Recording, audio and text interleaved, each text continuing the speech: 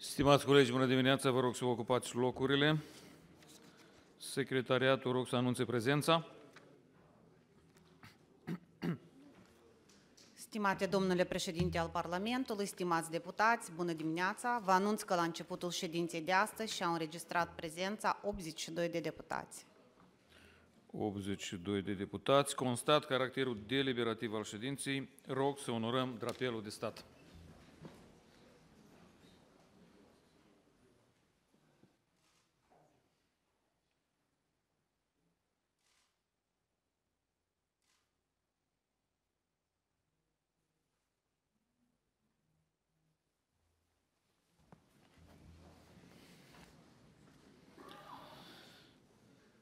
Vă mulțumesc.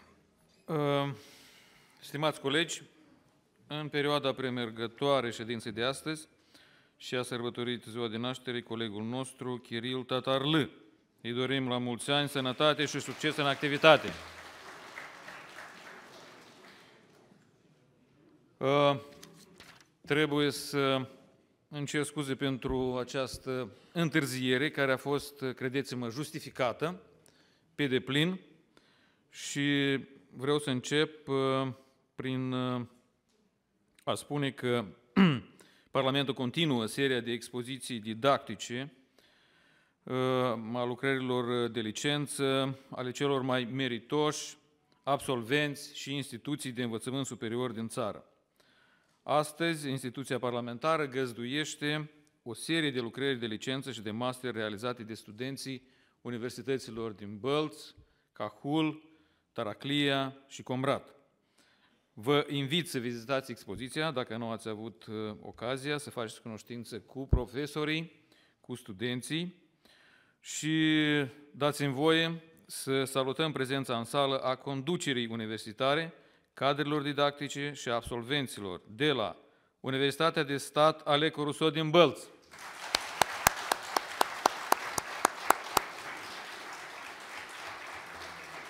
Universitatea de Stat Bogdan Petrucecu Hașdeu din Cahul.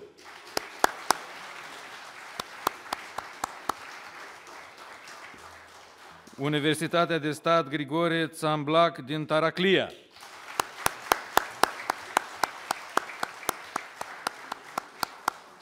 Și, desigur, Universitatea de Stat din Comrat.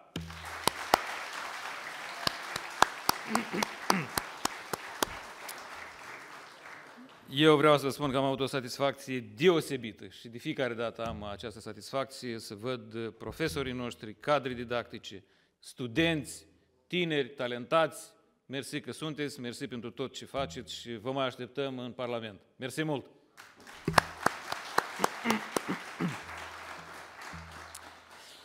Um, astăzi uh, este 1 octombrie, nu, se apropie 1 octombrie. Eu m-am grăbit un pic, da. 1 uh, octombrie, o zi foarte importantă, Ziua Internațională a Persoanelor Vârstnice și permiteți-mi de data aceasta să-i ofer cuvântul doamnei Pancu.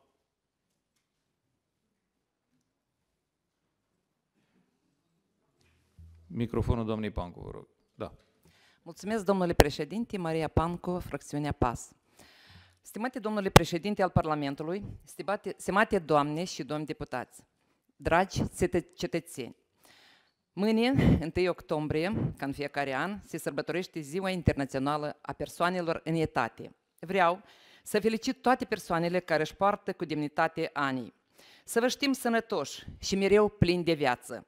Voi sunteți eroi acestei țări. Sunteți cei care încă din anii 90 vă aflați pe baricade și luptați până în ziua de astăzi pentru a vedea Republica Moldova transformată într-un stat prosper. Vă asigurăm că nu luptați în van. Noi, aleșii dumneavoastră, am fost și suntem alături pe calea spre a vă asigura un trai decent și o bătrânețe liniștită, într-un stat căruia îi pasă de cetățenii săi. În calitatea mea de secretară și membra Comisiei Protecție Socială, Sănătate și Familie și președintă a PAS Seniori, M-am încadrat activ, încă de la începuturi, în a vă apăra interesele aici, în Parlamentul Republicii Moldova. Alături de alți șapte deputați seniori, suntem vocea dumneavoastră și reprezentăm interesele persoanelor vârstnice din toată țara. Până astăzi am adoptat o serie de legi precum majorarea pensiei minime până la 2000 de lei, majorarea pensiilor cu 14%, iar facturile la gaz au fost compensate. De la 1 octombrie, pensionarii care au o pensie mai mică de 5.000 de lei vor primi o alocație unică de 1.500 de lei. Știm că nu este suficient în condițiile actuale, dar împreună cu colegii din Parlament și președintele Comisiei Protecție Socială, Sănătate și Familie, de altfel, un tânăr ambițios, domnul Dan Perciun, și alături de Ministrul Muncii și Protecției Sociale, domnul Marcel Spătari, se lucrează intensiv asupra măsurilor care vin să vă susțină. Tot astăzi vreau să felicit veteranii de război, cei care au stat la straja țării pentru a ne apăra de invazie Rusiei în 1992. Luptătorii de atunci sunt pensionarii de astăzi, care au pus mai mult preț pe apărarea patriei de, decât pe propria lor viață.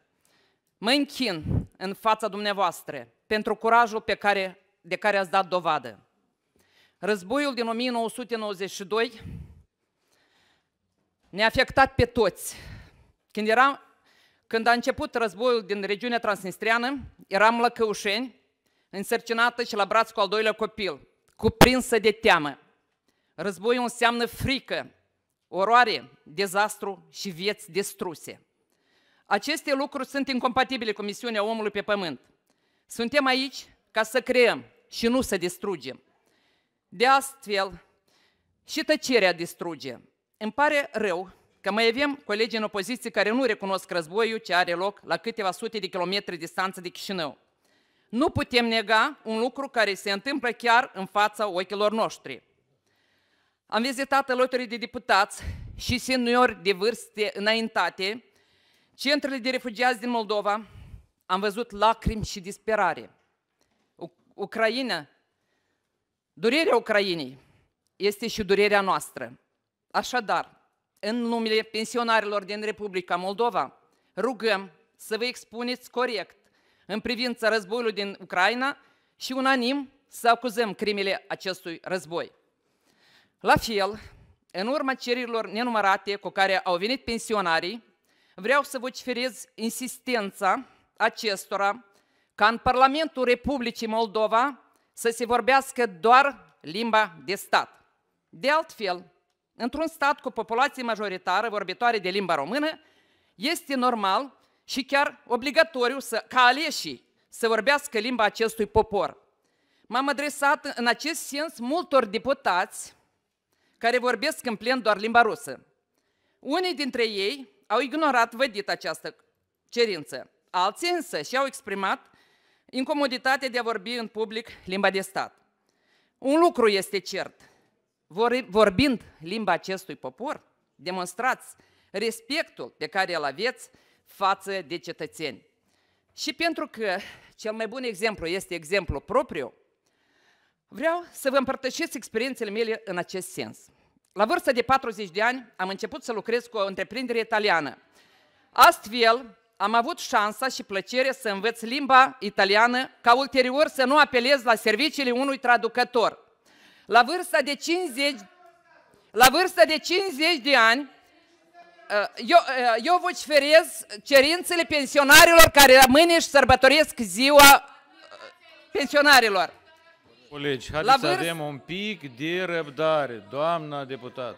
La vârsta, de, la vârsta de 50 de ani am deschis o întreprindere moldo-turcă. Tot atunci am început să învăț limba turcă, iar partenerii mei, limba română. Astfel, am dat dovadă de stimă reciprocă față de culturile din care venim. Acum, mai recent, în cadrul unei ședințe a grupului de prietenie Moldova-Azerbaijan, am fost motivat observând cum mai mulți colegi, fie tineri sau de vârstă înaintată, discutau liber în limba engleză. Așadar, am pus mâna pe carte și am început să mai învăț o limbă, limba străi, o limbă străină.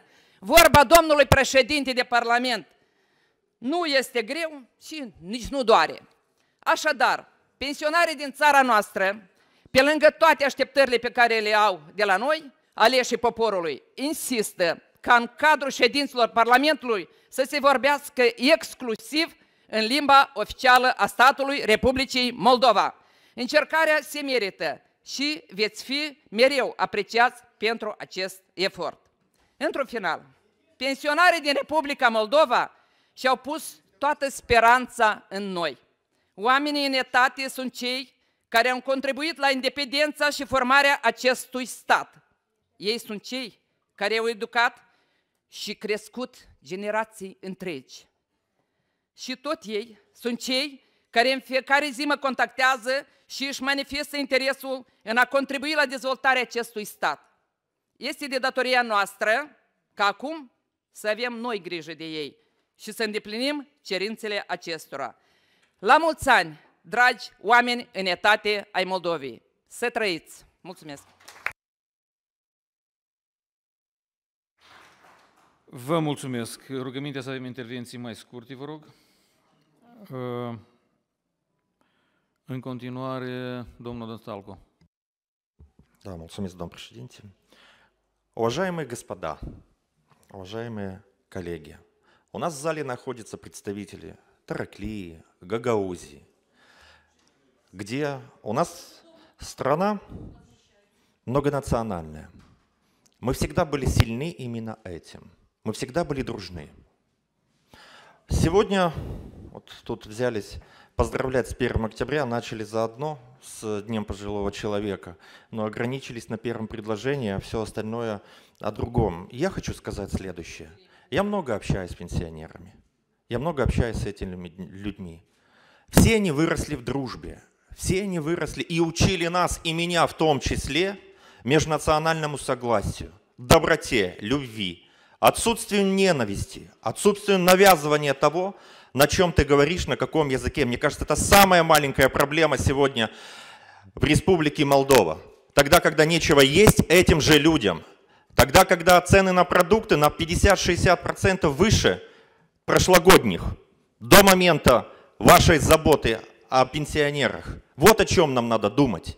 Надо думать о том, как не потерять их зимой от холода и голода. Вот о чем нам надо думать.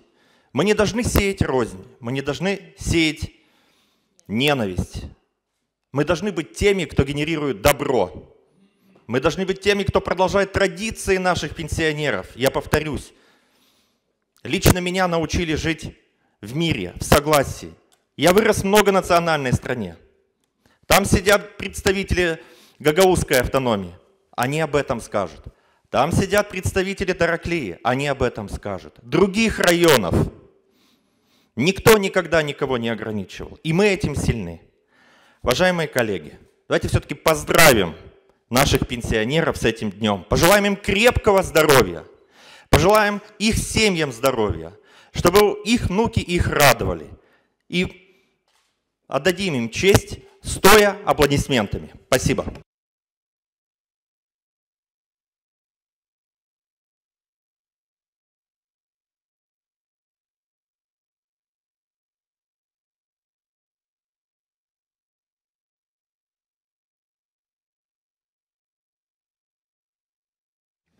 Vă mulțumesc. În continuare, doamna Caraman. Да, уважаемые коллеги, господин председатель, действительно, тяжелые времена требуют от нас идти друг другу навстречу, и некоторые из вас в этом абсолютно правы. Господин председатель, наконец-то граждане пошли вам навстречу, даже скинулись и передают вам через меня 200 лей для того, чтобы вы преодолели свой страх и вышли на митинг к тем людям, которые 13 дней находятся перед зданием парламента. Потому что в прошлый четверг вы четко показали, что вы участвуете только за деньги, и люди уже пошли на уступки, приглашают вас выйти к протестующим. Кто сколько мог, по лею, по два, но скинули для того, чтобы вы преодолели свой страх. Спасибо. Vă rog, calm, calm, în liniște, liniște, vă rog. Uh, colegi, colegi, colegi, colegi, colegi, noi uh, în... uh, Colegi, vă rog, calm. Eu cred că cu, la Universitatea din Bălți uh, am avut o temă foarte interesantă legată de inteligența emoțională. și o colegă de-a mea a spus că această inteligență emoțională lipsește cronic la unii deputați. Uh, Stimați colegi de la Bălți, luați un, aveți aici o mostră, uh, un obiect de studiu cu lipsă totală de inteligență emoțională. Puteți la distanță să o studiați. Vă mulțumesc. Doamna Coxal, în continuare. А, Mulțumesc, domnul președinte. Мы совсем недавно были свидетелями того, как э, в парламентарии э, и в сопровождении председателя парламента и даже госпожи, которая только что выступала, начала вроде бы поздравлять с Днем пожилого человека, и далее речь пошла с агрессией и с нарушением норм Конституции. И вместо того, чтобы мы подавали пример собирательности и толерантности, мы тут разлагаем рознь и выражаемся агрессивно по отношению к используемым языкам на территории Молдовы. Только что сама госпожа приветствовала участников платформы на первом этаже из университетов Тараклии, Камрата, Бельс, Кагула на болгарском, на гагаузском, на турецком языках. И сегодня же при свидетелях она противоречит самой себе. Я считаю, что это в корне не- неверно, и это является нарушением граждан, которые проживают на территории Республики Молдова. А по сути, 1 октября мы все признательны э, поколению, которое построило нашу страну, которое строит и продолжает оставаться рядом с нами. И мы должны прислушиваться к их мудрым мыслям, к их поступкам и действовать так, как нас учили наши родители. Поздравляем всех людей преклонного возраста, желаем крепкого здоровья и достойной жизни в Республике Молдова с уважением граждан и все, прав всех граждан, которые проживают на нашей республике. И прошу прощения за представителей Гагаузии, за те, что болгары сегодня у нас. И вот такой дискурс э, госпожа парламентарий решила сегодня представить в парламенте. Mulțumesc în continuare, domnul Novac. Stimați colegi, eu totuși, totuși eh, încerc să vă reamintesc că noi toți împreună suntem la ședința plenară a Parlamentului Republicii Moldova și nici de cum la ședința plenară a Dumei de stat sau Radei de stat. Republica Moldova are nevoie ca niciodată de pace, consolidare și stabilitate.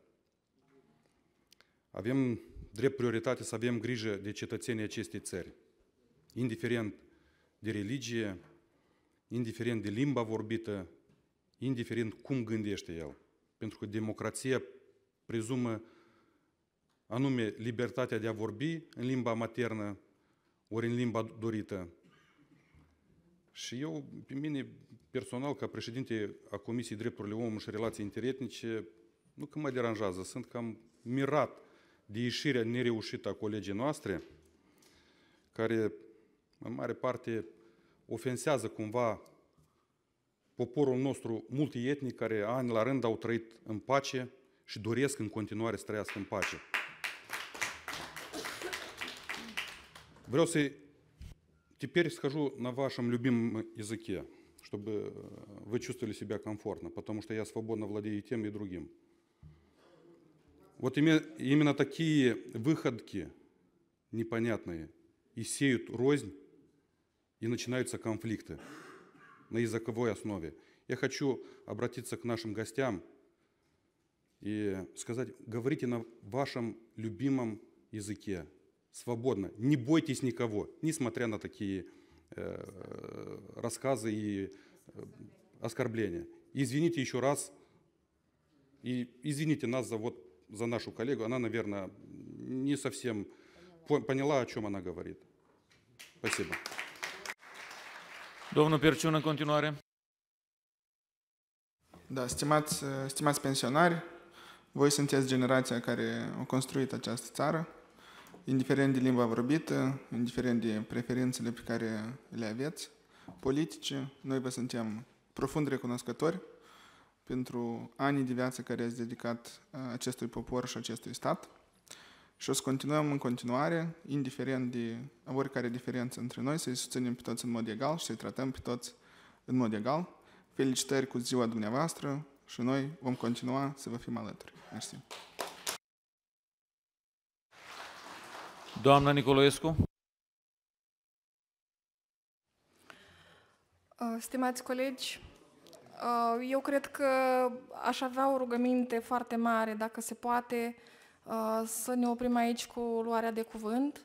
Eu vreau să zic că este bine ca astăzi să ne gândim și la cei tineri, cei care au venit și ne-au prezentat astăzi proiecte foarte frumoase, și la cei în etate, pe care îi respectăm și cărora trebuie să le mulțumim, Uh, da, din păcate, eu sunt cea care a zis că noi avem nevoie de multă inteligență emoțională și, într-adevăr, așa este.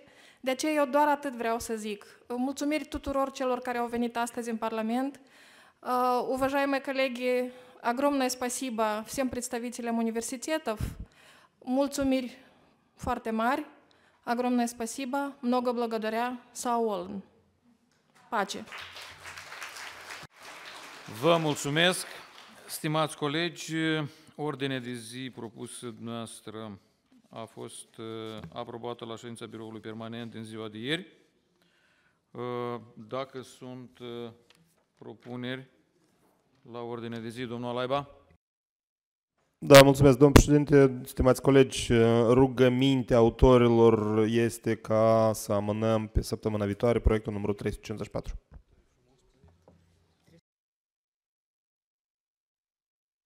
Da, oricum, agenda e pentru data de 30 septembrie și 6 octombrie, adică poate fi 354 săptămâna, să fie precăutat săptămâna viitoare. Am înțeles.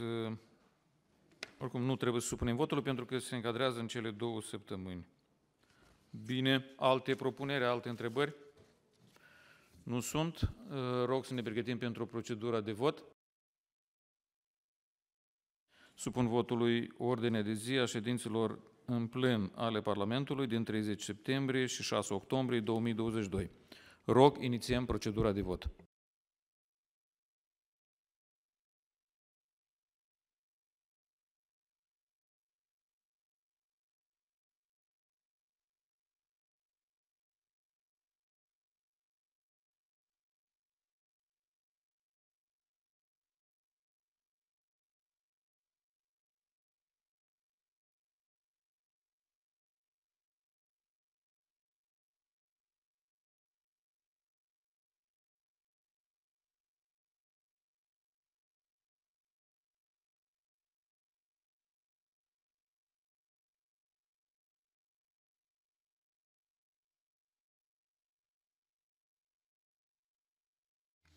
Ordinea de zi este susținută de 53 de deputați. Vă mulțumesc.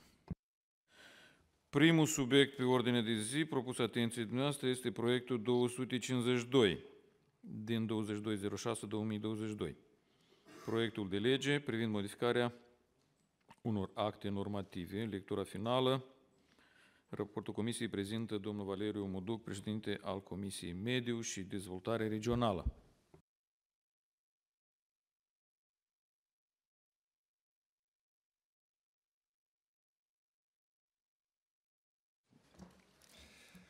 Stimați colegi, Comisia Mediu și Dezvoltare Regională a examinat pentru lectura finală proiectul de lege pentru modificarea unor acte normative, inițiativă legislativă a Guvernului Republicii Moldova și comunică următoarele. Proiectul de lege a fost uh, aprobat în prima lectură în cadrul ședinței plenare din 14 iulie 2022 și adoptat în a doua lectură în cadrul ședinței plenare din data de 28 iulie 2022. Acesta prevede modificările și ajustări la legea numărul 86-2014 privind evaluarea impactului asupra mediului, legea numărul 11 din 2017 privind evaluarea strategică de mediu și abrogarea legii numărul 851 din 1996 privind expertiza ecologică. În procesul de definitivare redacțională a textului actului normativ, S-a constatat că e necesar de operat mai multe modificări de ordine redacțional menite să asigure conformitatea acestuia cu rigorile tehnice legislative și cu normele limbii literare. De asemenea, au fost necesare unele modificări de ordine semantic și structural pentru ca textul actualului adopta, actul adoptat să corespundă intenției legiuitorului și să nu lase loc de interpretare. Astfel, urmarea procesului de redactare au fost operate modificări de ordin tehnico-legislativ și lingvistic care nu au schimbat esența proiectului de lege, însă textul redactat nu corespunde în tocmai cu textul votat în lectura a doua de către plenul Parlamentului. Pornind de la cele expuse, se impune necesitatea de a fi examinat în lectură finală proiectul de lege nominalizat în varianta redactată, care se anexează la prezentul raport. Urmarea dezbaterilor, Comisia Mediu și Dezvoltare Regională, cu votul unanim al membrilor săi, 8 voturi pentru, propune plenul Parlament proiectul de lege pentru modificarea unor acte normative numărul 252 din 22 a 6 22 pentru examinare și adoptare în lectură finală. Vă mulțumesc. Și noi vă mulțumim. Uh, Stimați colegi, întrebări la raport? Întrebări nu sunt, vă rog să luați loc. Da.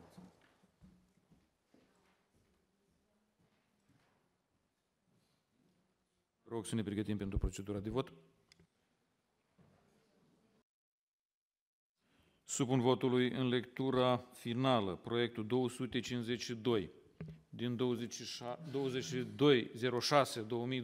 2206-2022, proiectul de lege pentru modificarea unor acte legislative, normative.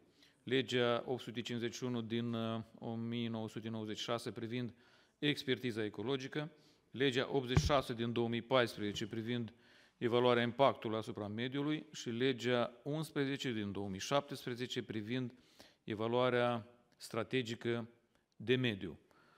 Rog, inițiem procedura de vot.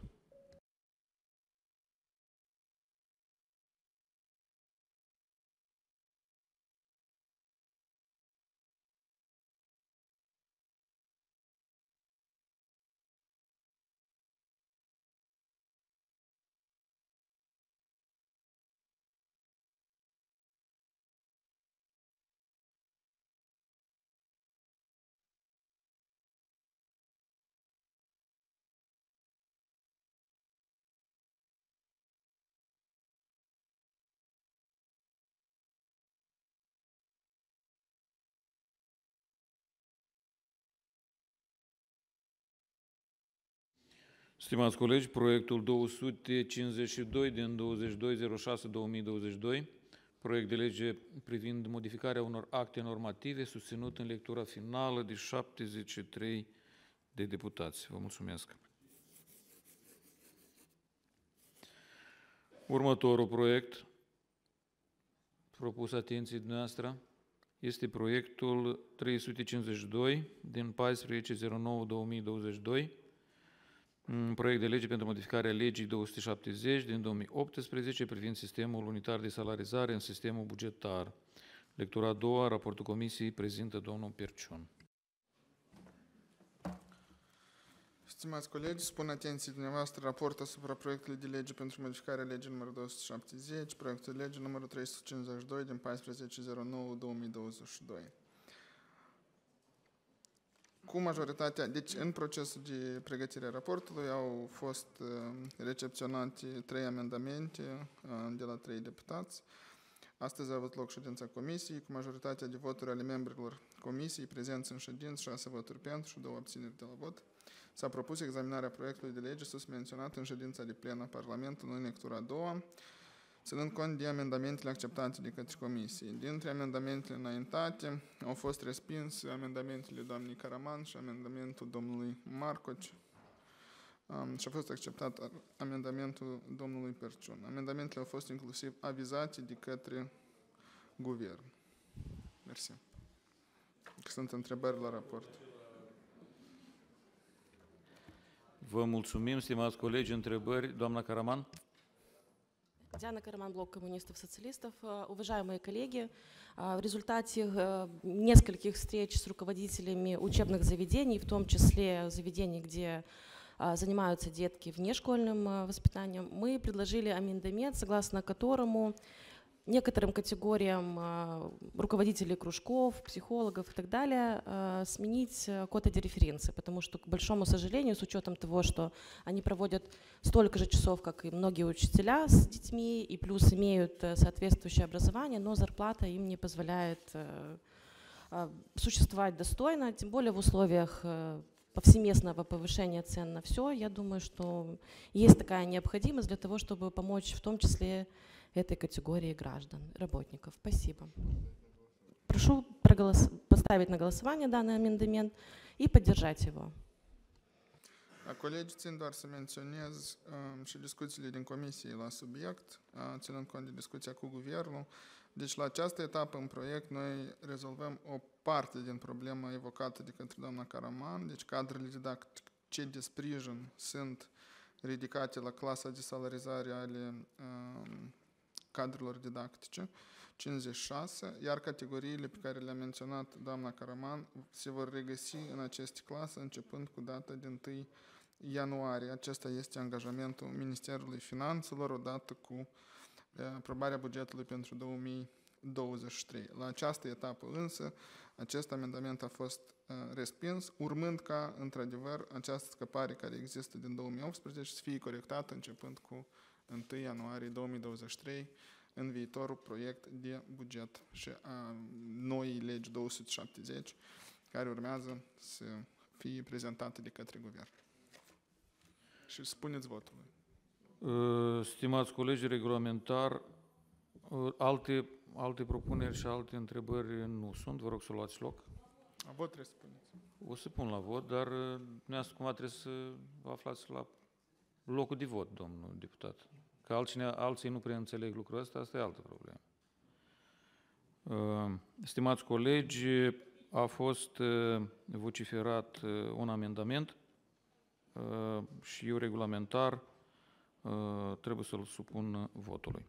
Supun votului amendamentul vociferat de doamna deputat Caraman. Rog inițiem, rog inițiem procedura de vot.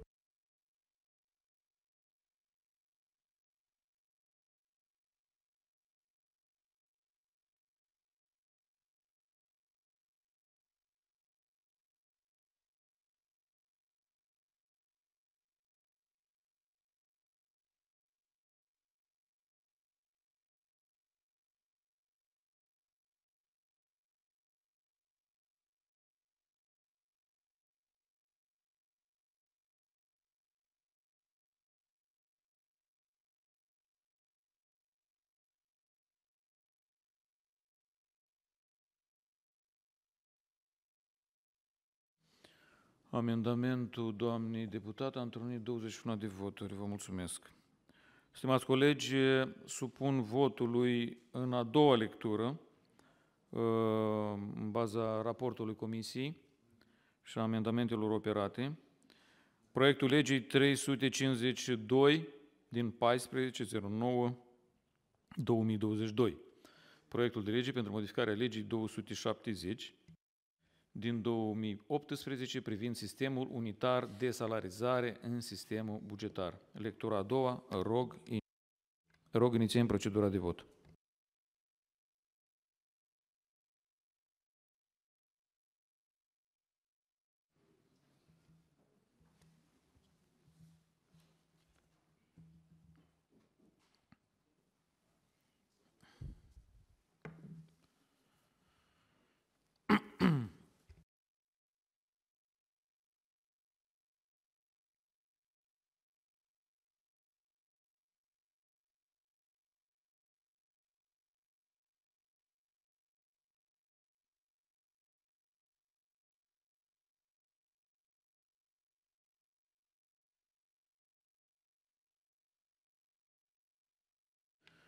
Stimați colegi, proiectul 352 din 1409 2022, proiect de lege pentru modificarea legii 270 din 2018 privind sistemul unitar de salarizare în sistemul bugetar, susținut în a doua lectură de 52 de deputați. Vă mulțumesc. Stimați colegi, următorul proiect propus atenției noastră este proiectul 271 uh, din 30.06.2022, proiectul de lege privind emisiile industriale.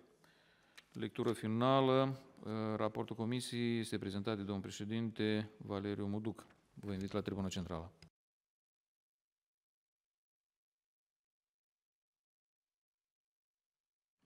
Mulțumesc.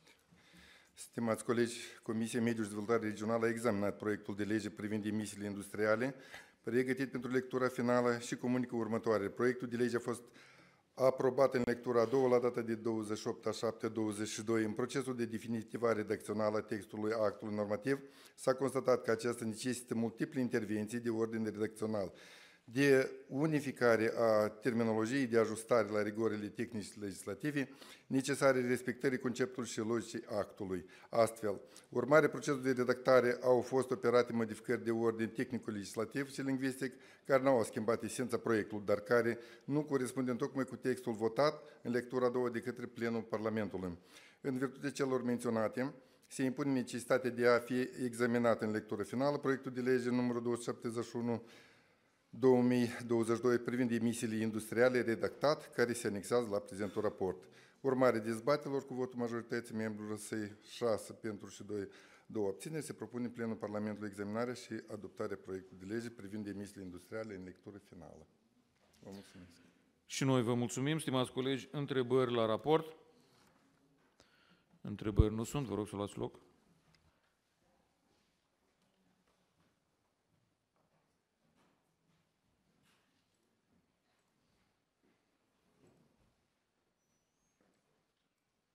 Stimați colegi, rog să ne pregătim pentru procedura de vot. Supun votului în lectură finală proiectul 271 din 30.06.2022, proiectul de lege privind emisiile industriale. Lectură finală, rog, inițiem procedura de vot.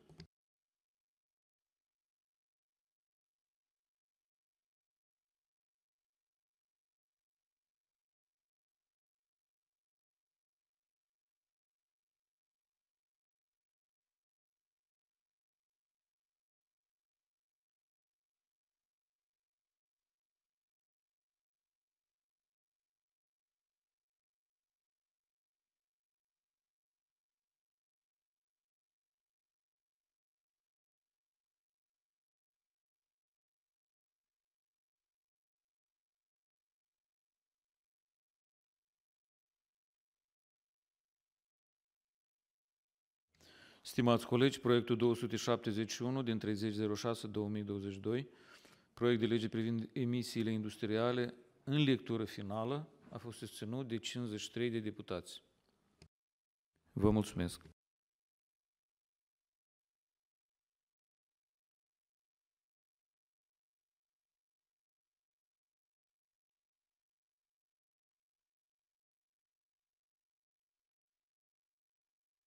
Următorul proiect propus atenției noastră, din păcate nu e în lectură finală, este proiectul 353 din 15.09.2022, proiect de lege pentru ratificarea acordului întocmit prin schimb de note dintre Guvernul Republicii Moldova și Guvernul Japoniei privind implementarea programului de consolidare a sistemului medical.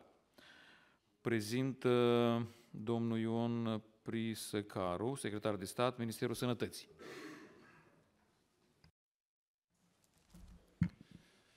Stimate domn președinte al Parlamentului, stimați deputați, propun atenție dumneavoastră proiectul de lege pentru ratificarea acordului întocmit prin schimb de note între Guvernul Republicii Moldova și Guvernul Japoniei privind implementarea programului de consolidare a sistemului medical semnat la 16 august anul curent.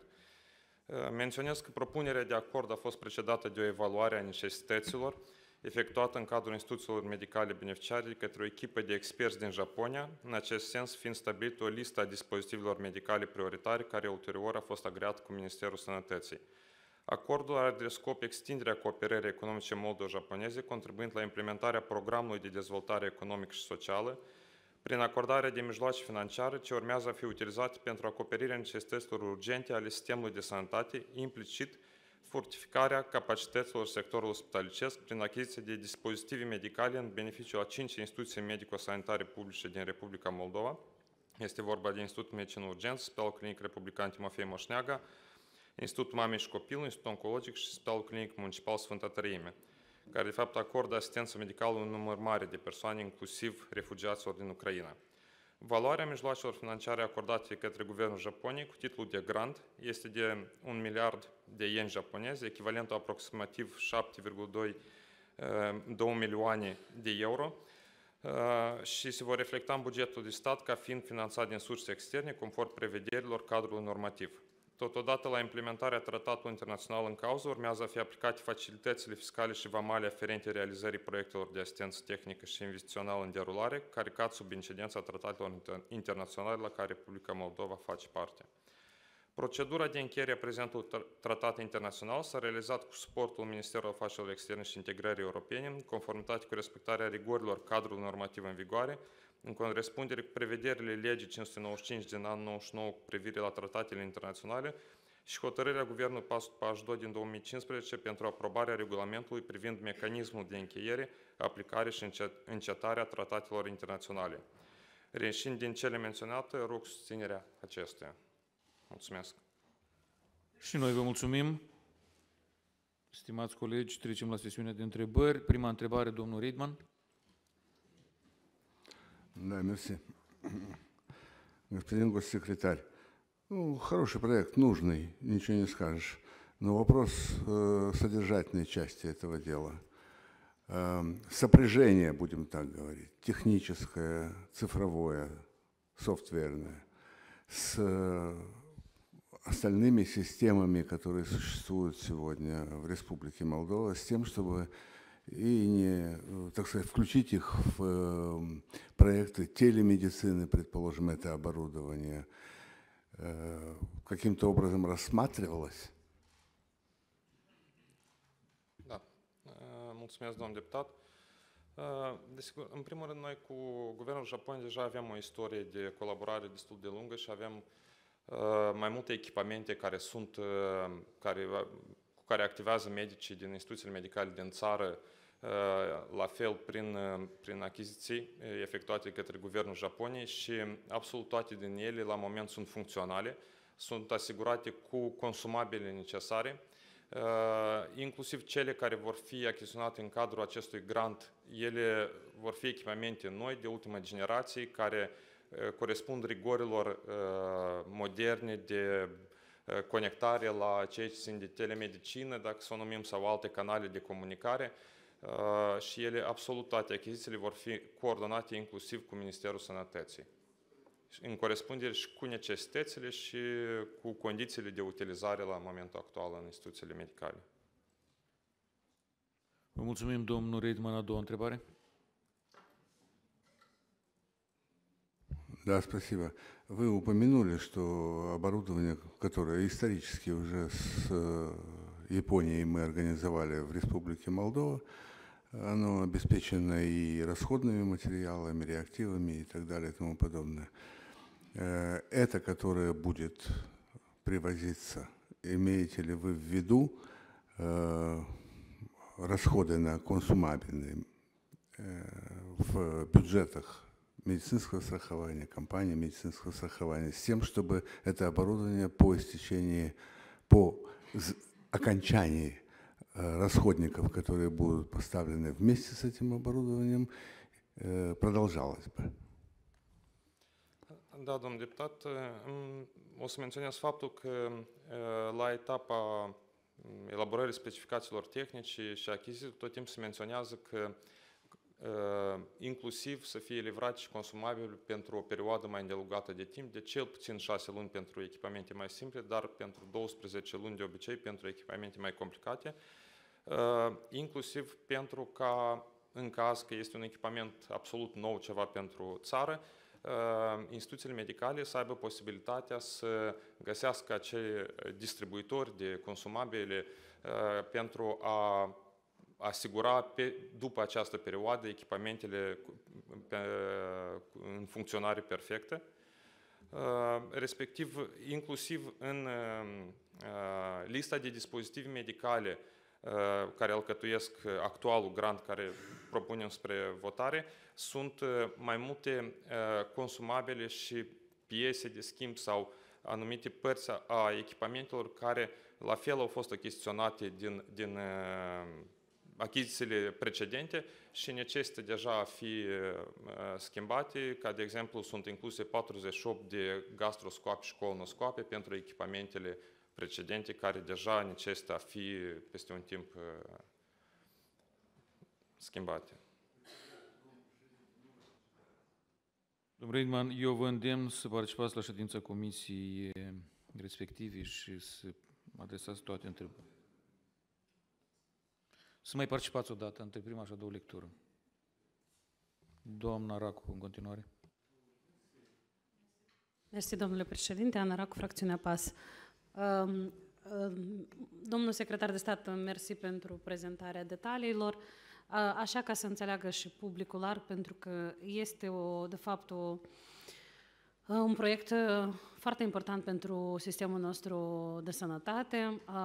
Grație cooperării care o avem cu guvernul Japoniei pe mai multe dimensiuni și eu mă bucur că s-a reușit a fi negociat acest acord, care în mod cert va contribui la îmbunătățirea stării de lucruri în sistemul medical. Nu este o noutate pentru nimeni că avem spitale în care echipamentele datează cu anii 70-80, dar vreau foarte mult, uh, în măsura în care e posibil, să deschideți paranteza, având în vedere că uh, acordul vizează echipamente pentru cele mai importante instituții și cele mai mari instituții medicale din țară, ce fel de echipamente? Deci bănuiesc că lista e lungă, detalii tehnice, dar măcar pentru Uh, cum să zic, o mm, clarificare de ordin general, pentru că din textul acordului nu, se, nu sunt regăsite uh, aceste detalii, bănuiesc că ele urmează, va fi un comitet consultativ care va elabora cerințele tehnice și așa mai departe, dar uh, este vorba de echipament care va fi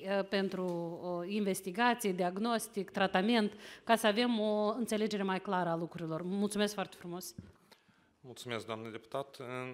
Între, aș putea da citire liste, dar este o listă lungă și doar o să fac uh, anumite precizări. Este vorba de echipament atât pentru diagnostic cât și pentru tratament, uh, atât pentru investigații uh, radiologice, ultrasonografice, dar și pentru tratamentul pacienților cu hemodializă în, în principal și pentru pacienții care necesită transfuzii de sânge, plasmafereză, Uh, și, sau alte investigații de laborator și tratament.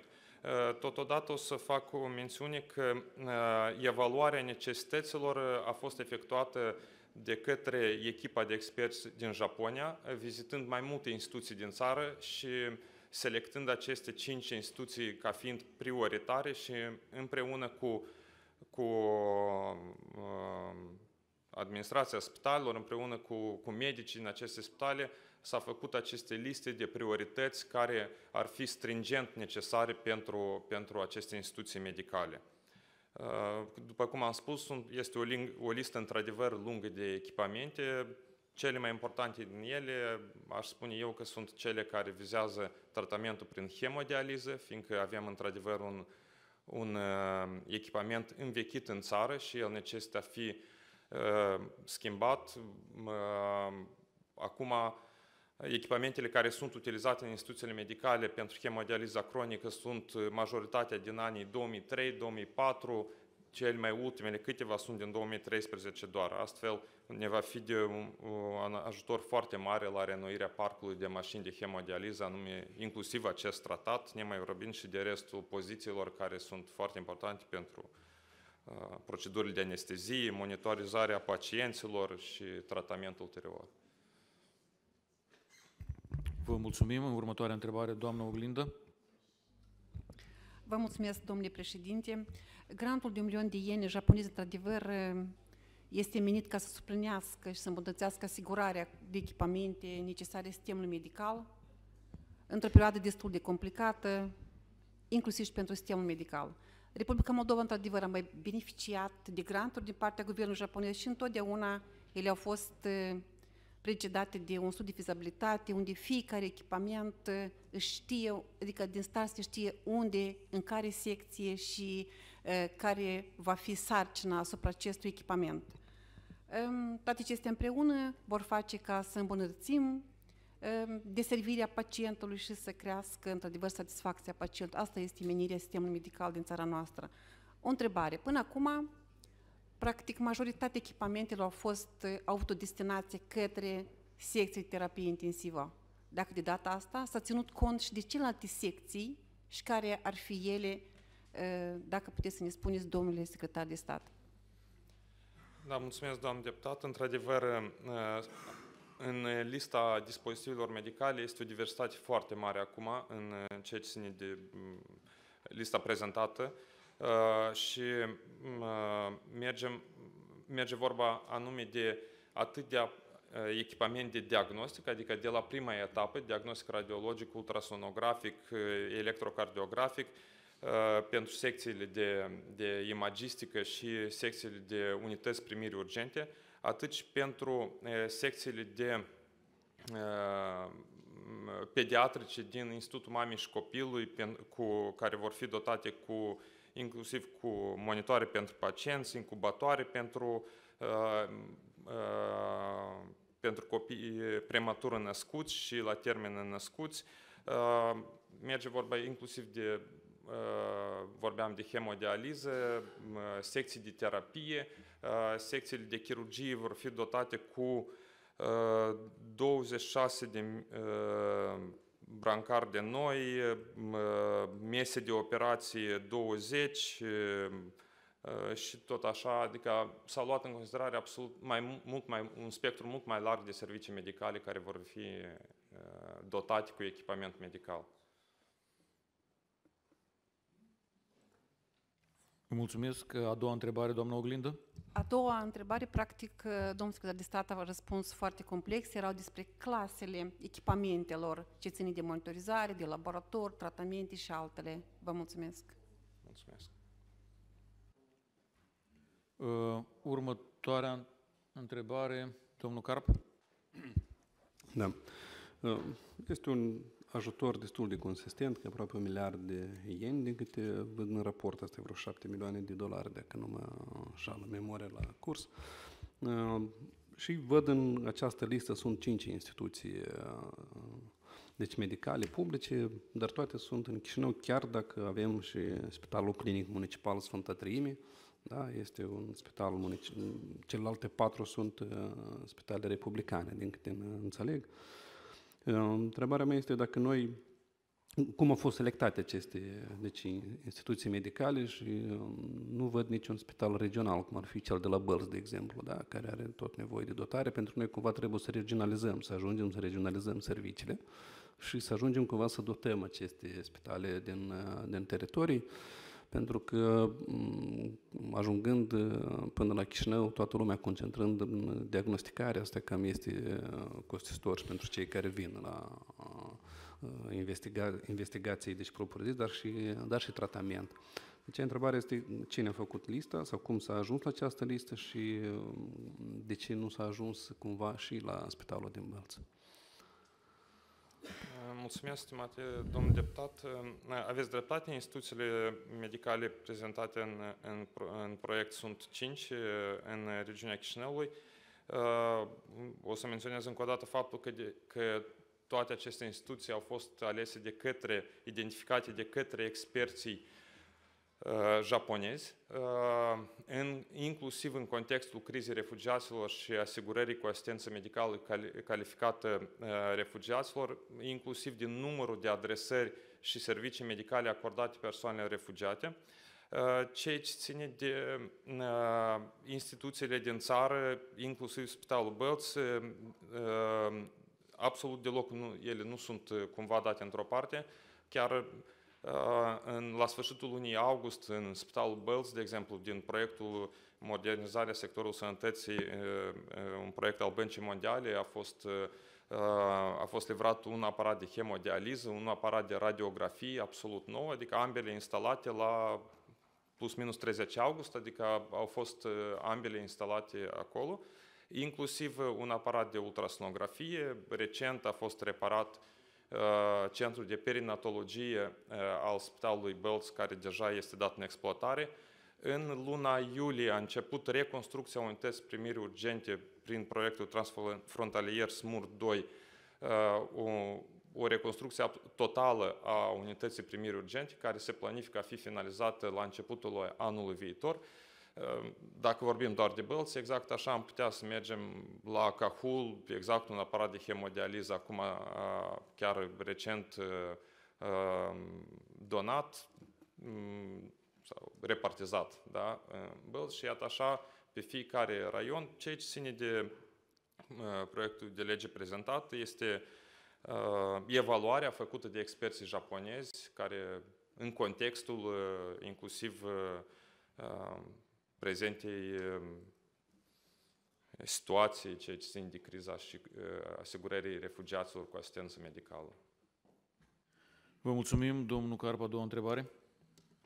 Bun, eu nu în zadar am pus această întrebare. Eu știu că Ministerul are ca obiectiv construcția două spitale regionale mari, dar asta va dura în timp, da? pentru că este vorba despre proiectarea lor, nu știu la ce etapă deci se află, deci proiectul propriu-zis, știu că uh, se proiecta. Um, Dar asta oricum, construcția va dura vreo 2-3 ani de zile până va fi dată în exploatare, dar ceea ce contează cel mai mult este și pregătirea cadrelor uh, deci, medicale. Iar ceea ce văd eu din proiect, da, pe care l-ați prezent din argumentare, este că nu doar uh, deci, propriu-zis vor fi aduse utilaje, dar va avea loc și instruirea deci, cadrelor medicale.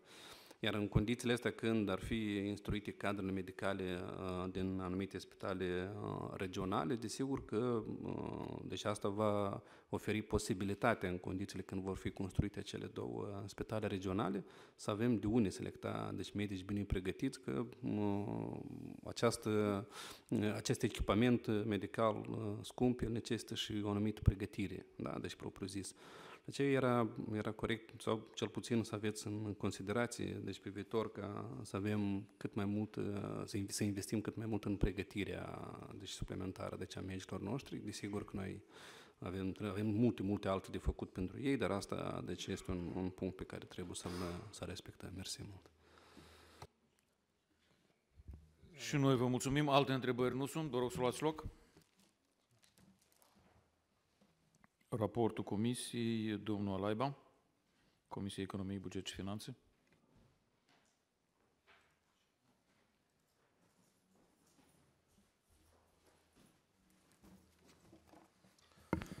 Stimați colegi, Comisia Economie, Buget și Finanțe a examinat proiectul de lege pentru ratificarea acordului întocmit prin schimb de note între Guvernul Republicii Moldova și Guvernul Japoniei. Acordul menționat reprezintă un tratat, tratat internațional de nivel interguvernamental care are drept scop extinderea cooperării economice moldo-japoneze, contribuind la implementarea programului de dezvoltare economică și socială prin acordare de mijloace financiare. Valoarea mijloacelor financiare acordate de către Guvernul Japoniei cu titlul de grant este de un miliard de ieni japonezi.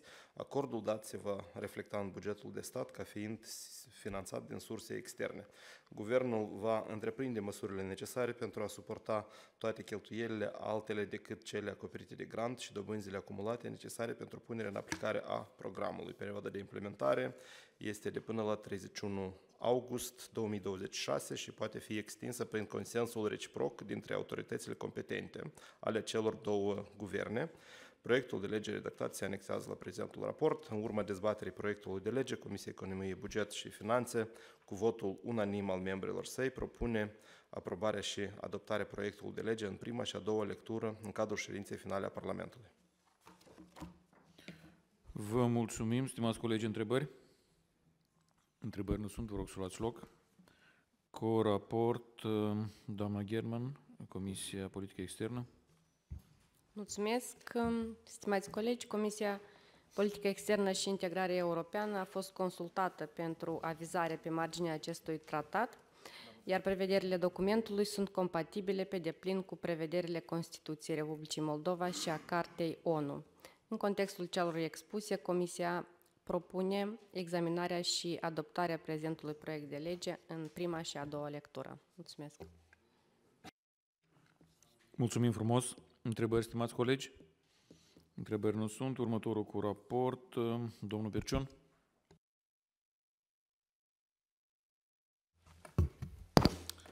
Colegi, spun atenție cu raport asupra proiectului de lege pentru ratificarea acordului întocmit prin schimb de note dintre Guvernul Republicii Moldova și Guvernul Japoniei privind implementarea programului de consolidare a sistemului medical. Membrii Comisiei cu vot unanim propun aprobarea și adoptarea proiectului de lege de către plenul Parlamentului. Vă mulțumesc. Și noi vă mulțumim, stimați colegi, întrebări la coraport. Întrebări nu sunt. Uh, Rog să ne pregătim pentru procedura de vot.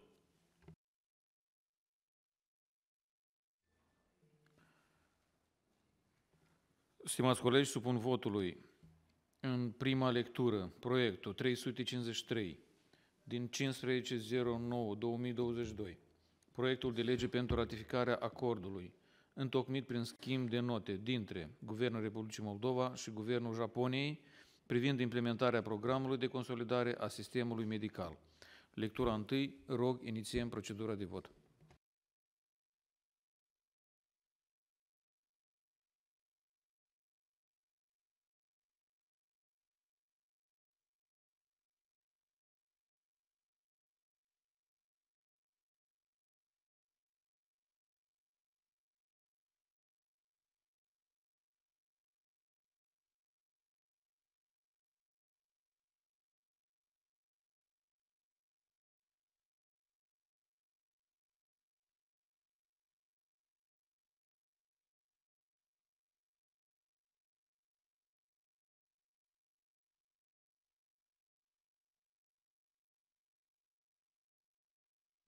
Stimați colegi, proiectul 353 din 15.09.2022, susținut în prima lectură de 76 de deputați. Vă mulțumesc. Uh, comisiile uh, au recomandat uh, vota, votarea în a doua lectură, în două lecturi. Regulamentar mă adresez fracțiunilor. Doamna Greceanai? De acord, domnul președinte. Vă mulțumim. Doamna Roșca?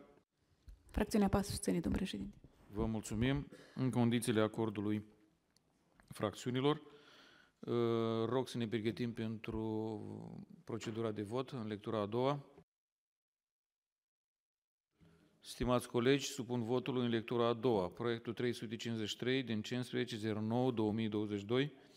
proiectul de lege pentru ratificarea acordului întocmit prin schimb de note dintre Guvernul Republicii Moldova și Guvernul Japoniei privind implementarea programului de consolidare a sistemului medical. Lectura a doua, rog, inițiem procedura de vot.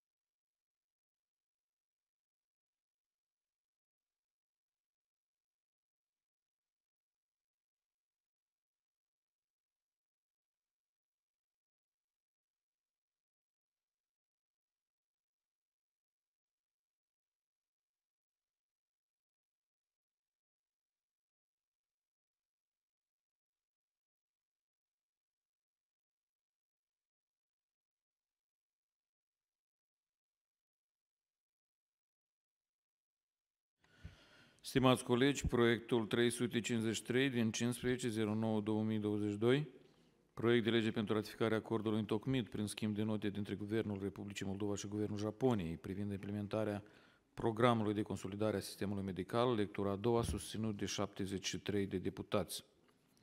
Vă mulțumesc.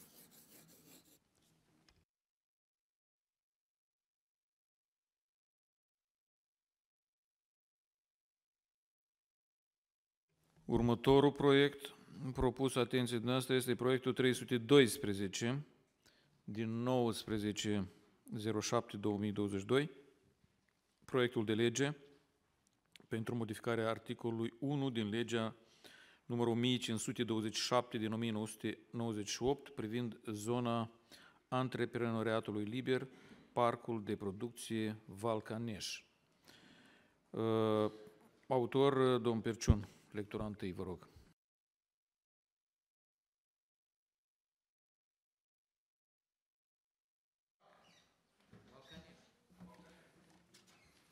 Da, stimați colegi, spun atenție dumneavoastră acest proiect de lege. Esența lui este relativ simplă.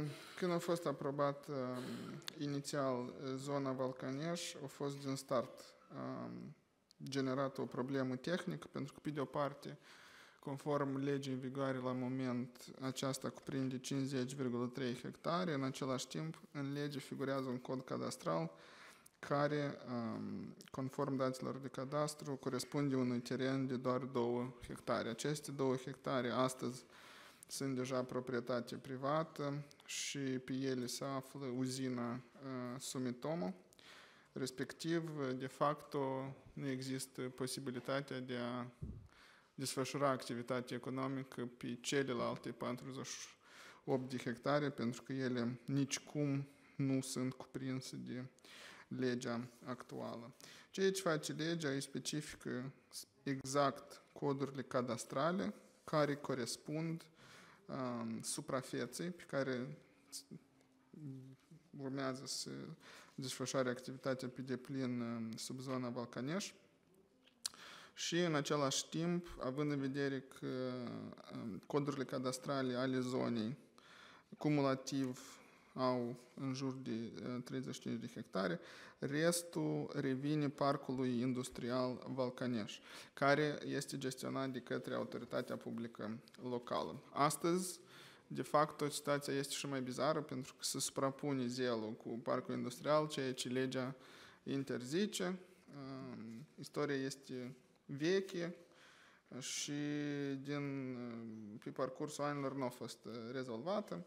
Acum se introduce claritate și asta o să permită să activeze sub zona și să atragă agenții economici în regim normal. Deci asta facem, scriem clar în lege care terenuri intră în această zonă, ca să nu existe neclarități și ambiguități și să poată veni investitorii și activa. Așa, cam așa. Cam așa, da? Dacă Uh, sunt întrebări. Sigur că sunt întrebări. Domnul Găgăuz, vă rog. Да, mulțumesc. Депутат Гагауз, фракция социалистов-коммунистов. У меня нет вопросов. Хочу поддержать принятие данного законопроекта и призвать коллег поддержать его принятие. Может быть, внести некоторые пояснения, которые позволяют оценить необходимость принятия данного законопроекта. Э, Для начала, в 2014 году постановлением правительства был создан промышленный парк «Камрад» на участке земли площадью 50,3 га э, земли.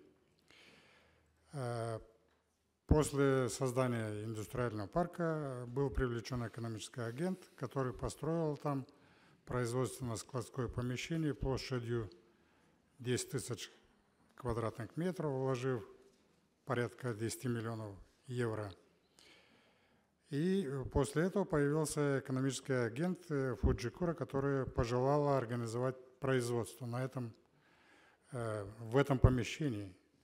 Но пожелала, чтобы это производство было организовано в свободной экономической зоне. В связи с этим впоследствии в парламенте в 2017 году э, была создана субзона на этой же площади. Теперь предлагаемые изменения фактически делимитируют ситуацию и э, производственный парк, индустриальный парк получает э, 14,9 гектаров земли, 2 гек- э, за свободной экономической зоной остается 35,4 гектара, из которых 2 гектара принадлежат экономическому агенту, который построил данное э, производственное помещение. Continuați.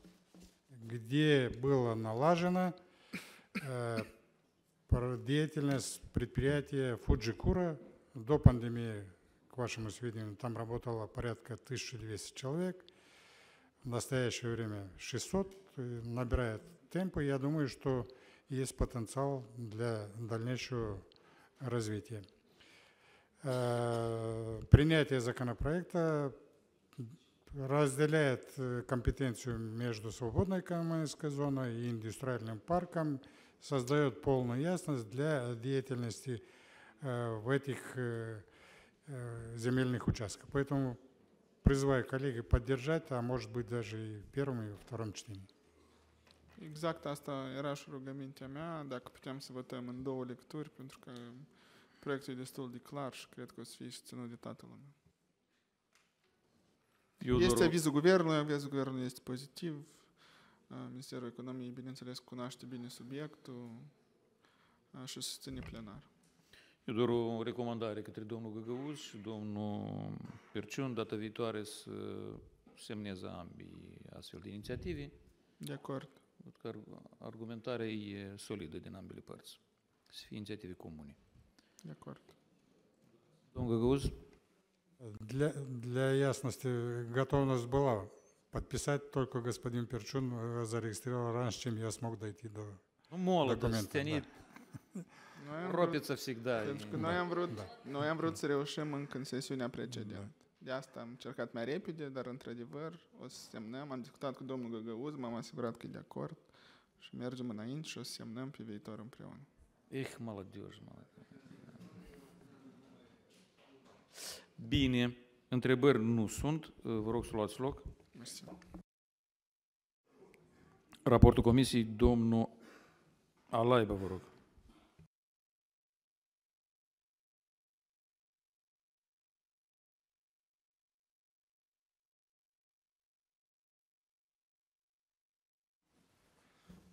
Stimați colegi, Comisia Economie, Buget și Finanțe a examinat proiectul de lege pentru modificarea articolului 1 din legea numărul 1527 privind zona antreprenoriatului liber Parcul de Producție Volcaneș, înaintat cu titlul de inițiativă legislativă. Scopul proiectului de lege constă în optimizarea terenului zonei uh, prin substituirea unui teren cu suprafața de 50,3 hectare cu trei terenuri cu suprafață totală de 35,4 hectare și anume 2 hectare, unul de 22 hectare și unul de 10 hectare.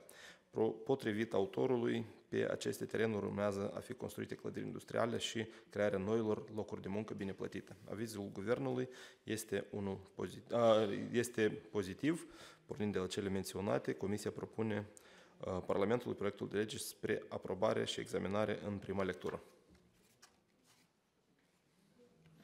Vă mulțumim. Întrebări la raport? Raportul e pentru o singură lectură. Cum procedăm atunci? Uh, Haideți să facem prin prima lectură și săptămâna viitoare deja dau o două. Raportul e pe o lectură, n-am... Ok. Uh, Vă rog să luați loc.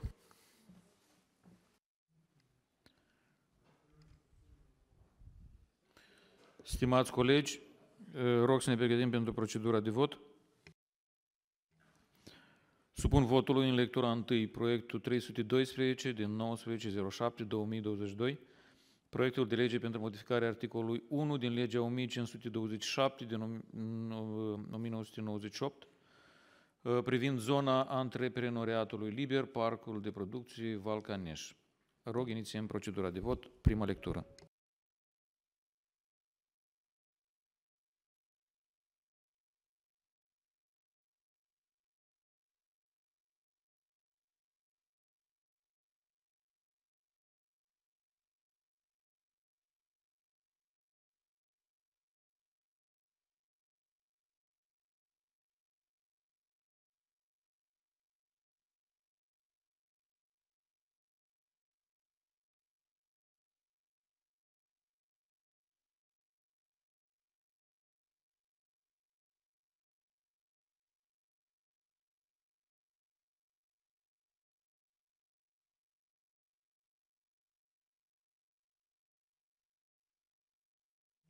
Stimați colegi, proiectul uh, 312 din 19.07.2022, proiect de lege pentru modificarea articolului 1 din legea 1527 din 1998 privind zona antreprenatului liber Parcul de producție Valcaneș, susținut în prima lectură de 74 de deputați. Vă mulțumesc.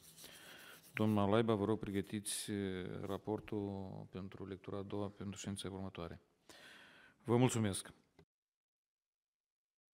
Următorul proiect propus atenției dumneavoastră este proiectul numărul 62 din 0103 2022, proiectul de lege cu privire la modificarea unor acte normative, legea salarizării, legea privind sistemul unic de salarizare în sectorul bugetar.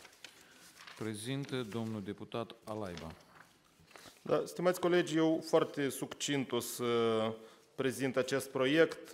Noi l-am înregistrat încă în martie, dacă nu greșesc, anul acesta. A fost pregătit pe parcursul lunii ianuarie-februarie, dacă nu greșesc. Esența lui este de a migra într-un fel plata salariilor funcționarilor, plățile pentru funcționari, după modelul plăților pensiilor care acum deja se efectuează. Deci plățile în Republica Moldova sunt, sunt procesate prin intermediul sistemului de plăți guvernamentale MPay. Se propune extinderea acestei practici pe, pe salariile funcționarilor. Asta pentru că împreună cu Agenția de Guvernare Electronică considerăm că această soluție este una mai ieftină, care economisește resurse financiare din buget, ori pentru fiecare plată procesată se impune și un comision de către bănci. În același timp, o, un beneficiu pe care noi îl vedem este că asta efectiv înseamnă sfârșitul acestei, sau cel puțin asta este așteptarea noastră, sfârșitul acestei practici în care o bancă, un director de bancă vine la șeful unei instituții sau la un ministru și se înțelege și toți angajații din minister sau din agenție cu hurta sunt mutați de la o bancă la altă bancă ce primește șeful de instituții sau ministru, putem doar să presupunem, unele privilegii, așa, unele chiar poate inofensive, de genul un card gold acolo sau platinum, sau în, cazul, în cazuri mai, mai extreme, pe de dreptul putem presupune și intui că este vorba și de corupție. Pentru că atunci când migrezi un flux întreg financiar de la o bancă la alta, evident că există și unele uh, să-i spunem așa, recompense neoficiale. Asta noi vrem să terminăm și odată cu instituirea, odată cu migrarea acestui, cu introducerea acestui sistem în, în proces, se, este tehnic posibil ca fiecare angajat pur și simplu să vină cu contul său la contabilitate, plățile se procesează prin intermediul MPay, și merg, merge salariul direct la, la angajat. Asta ne dorim. Doar niște cifre, din păcate, sunt cam, cam învechite pentru că proiectul este, cum am spus, a fost elaborat în, la începutul anului 2022. De exemplu, în primele 10 luni a anului 2021, prin serviciul AMPay, au fost distribuite 13 milioane 700, peste 13 întreg 7 milioane prestații sociale în valoare de 23 întreg 3 miliarde de lei. Deci capacitatea este, cum am spus, un serviciu care este mai ieftin și presupune o eliminare a unui risc de corupție pentru viitor, oferind libertatea fiecărui funcționar să-și, să-și, alege, să-și, să-și aleagă banca în care are încredere, pentru că este convingerea noastră că asta e un drept absolut de bază a fiecărui angajat în general, nu doar în, în sectorul public. Banii pe care îi primești ca și salariu sunt banii care deja pe care deja i-ai muncit și nu are nimeni niciun fel de director sau directoraș sau ministru să-ți spună la ce bancă să-ți ții și la ce bancă să-ți deschizi acest cont. Asta este pe scurt esența proiectului, dacă sunt întrebări. Așa, inițiative, cum să nu fie întrebări? Да. Prima întrebare, domnul Reidman. Да, мерси. Господин председатель комиссии, э, все хорошо и вроде бы нормально то, что предложено, и бенефичи кое-какие, наверное, можно будет получить. Но в проекте закона, по-моему, указаны не только государственные служащие, там указаны и хозрасчетные предприятия если я не ошибаюсь. Хозрасчетные предприятия? Предприятия, да. Хозрасчетные предприятия. Государственные или еще какие-то, там не указано об этом. Хозрасчетные предприятия, не организации, где работают государственные служащие, а хозрасчетные предприятия. De stat, aveți... Nu, nu, nu. Там написано, spate și greșeala de traducere, dar acolo este scris хозрасчетные предприятия. Эм, Я не к тому, чтобы их исключить оттуда, я к тому, что хозрасчетные предприятия должны иметь возможность выбирать между системами МП и э, э, системами обычными э, банковскими этими э, зарплатными проектами в банках. И только совет этих предприятий, если это акционерное общество, где работает э, преимущество, где преимущественный капитал государства, там совет может решать, давай через МП. А так получается как-то не очень, не очень складно. Это, это организация, а там речь идет о Ну, хозрасчетных înseamnă.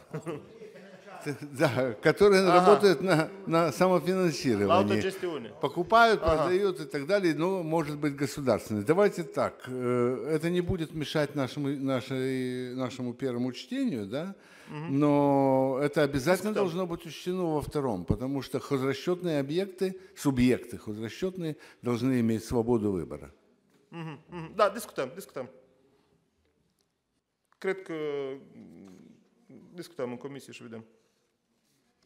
Aflăm ce înseamnă hozrășiotное primul rând, предприятие aflăm ce înseamnă da, începem cu asta. предприятие. Și după asta Mă iertați, la mine rusa e e, parcă bună, dar uneori e, mă lovesc de iată și buxul în așa situație. Это scăpare cu hozrășiotное предприятие la dumneavoastră.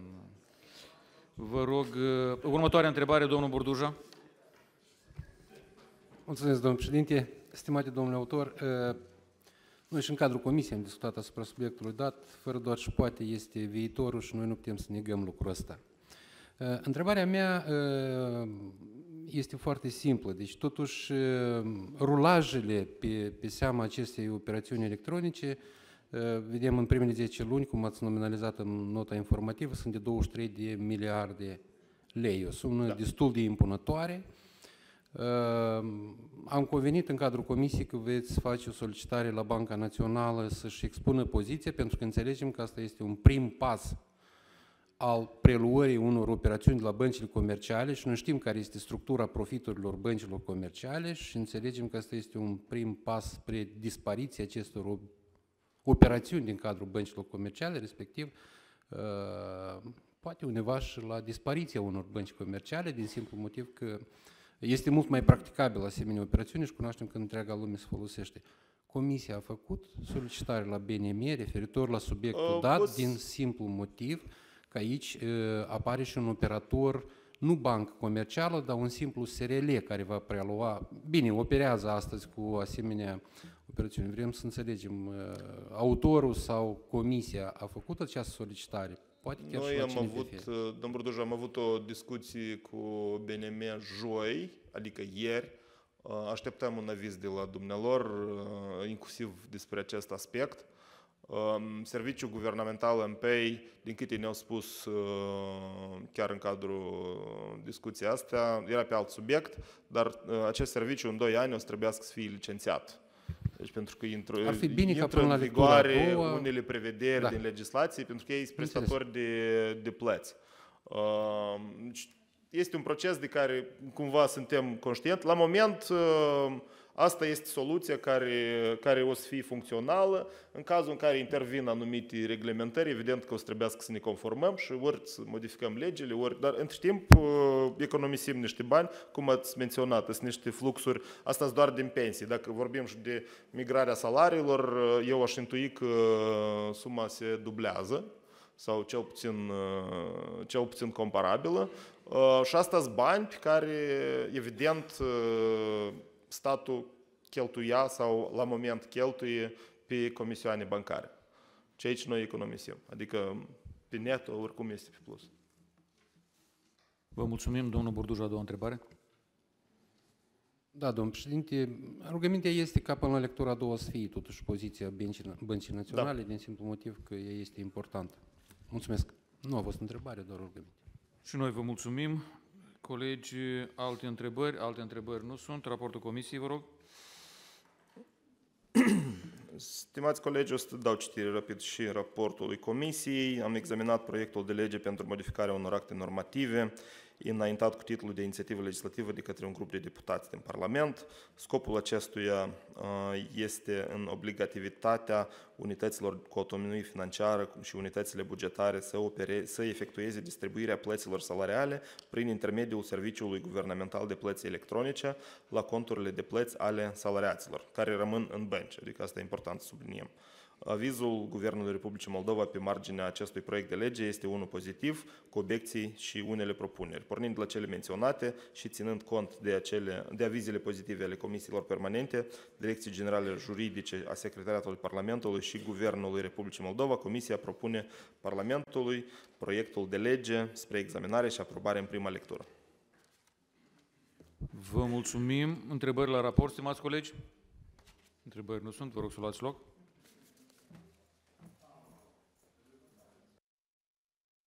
Rog să ne pregătim pentru procedura de vot.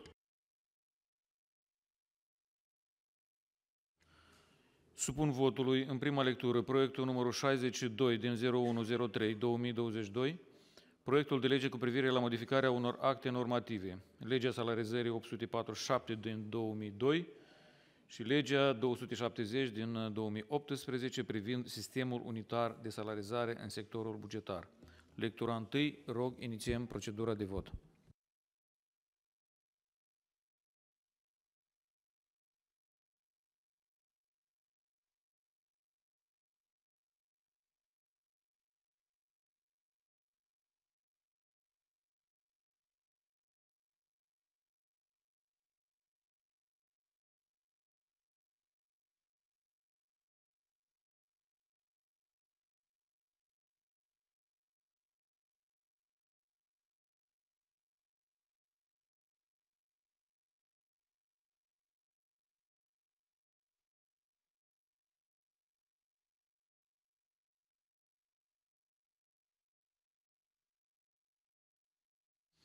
Stimați colegi, proiectul 62 din 0103-2022, în lectura întâi, susținut de 62 de deputați. Vă mulțumesc.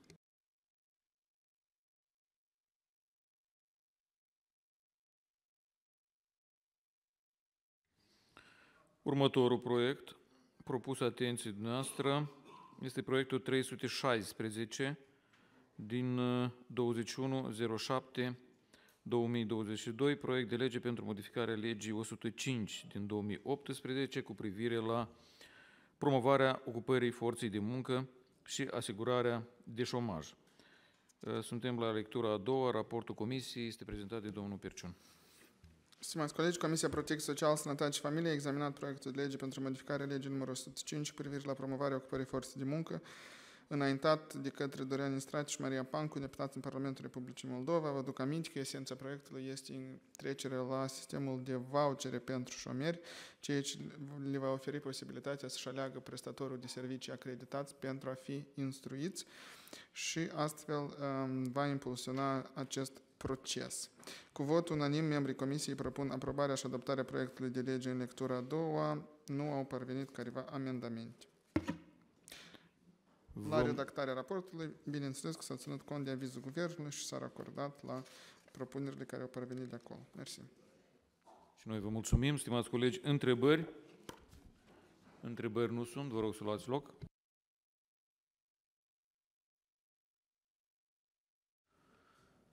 Rog să ne pregătim pentru procedura de vot.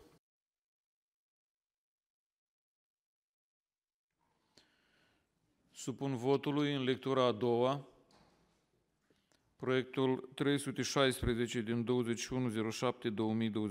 2107-2022, proiectul de lege pentru modificarea legii 105 din 2018 cu privire la promovarea ocupării forței de muncă și asigurarea de șomaj. Lectura a doua, rog, inițiem procedura de vot.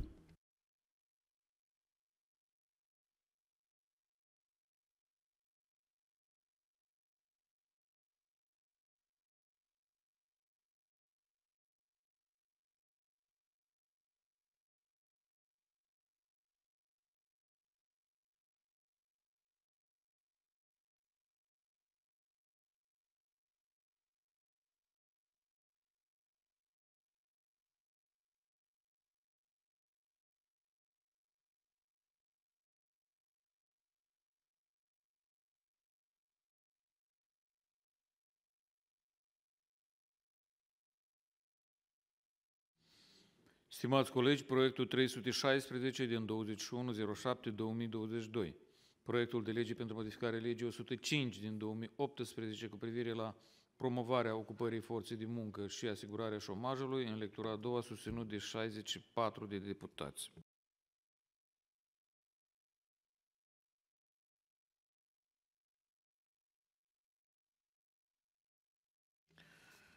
Următorul proiect, în atenția dumneavoastră, proiectul 361 din 23.09.2022, proiectul de lege pentru modificarea unor acte normative, Codul VAMAL, numărul 95 din 2021, Codul VAMAL din uh, numărul 1147 din 2000 și Codul Fiscal uh, și Codul Fiscal. Uh, prezintă, prezintă domnul Alaiba. Vă rog.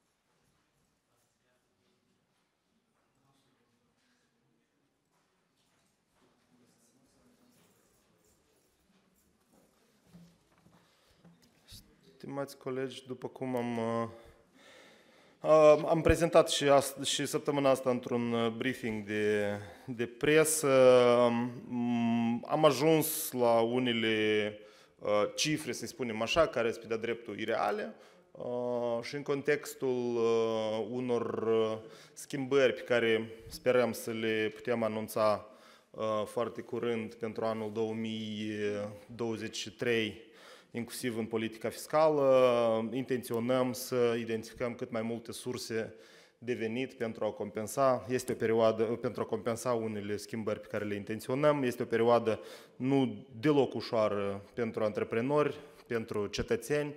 Uh, în anul 2023 o să trebuiască să protejăm veniturile cetățenilor, o să trebuiască să protejăm afacerile, mii de afaceri care Uh, și să le ajutăm să supraviețuiască în acest an. Asta înseamnă costuri suplimentare, uh, asta înseamnă, eu nu le numesc costuri, eu le numesc chiar investiții, dacă vreți, asta înseamnă resurse de la stat, de la buget, care să fie utilizate eficient. Și asta inclusiv înseamnă să identificăm aceste uh, surse de venit adițional, de aici vine și uh, această inițiativă, ori doar, uh, și asta informații de la Serviciul Vamal, doar în prima jumate a anului 2022, uh, mărimea scutirilor, privilegiilor fiscale a regimului duty free în Republica Moldova a ajuns la un miliard de lei. Asta înseamnă 2 miliarde de lei din, uh, doar în anul 2022. Au fost ani în perioada prepandemică în care veniturile duty free, uh, deci aceste scutiri au, ajungeau deja și la 4 miliarde de lei în fiecare an. Uh, și eu înțeleg și așa accept că asta nu, nu, nu este egal cu venituri la buget automat. Asta noi nu vorbim de, de exemplu, 2 miliarde automat venit la buget, însă o anumită sursă de venit acolo este cât uh, unele estimări ne spun 500, 600, 700 de milioane de lei. Ne-am așteptat de la, aceste, de la această schimbare, de la anularea acestui regim duty free uh, plus la buget. Uh, bani care să fie utilizați pentru cetățeni și pentru antreprenori, cum am spus.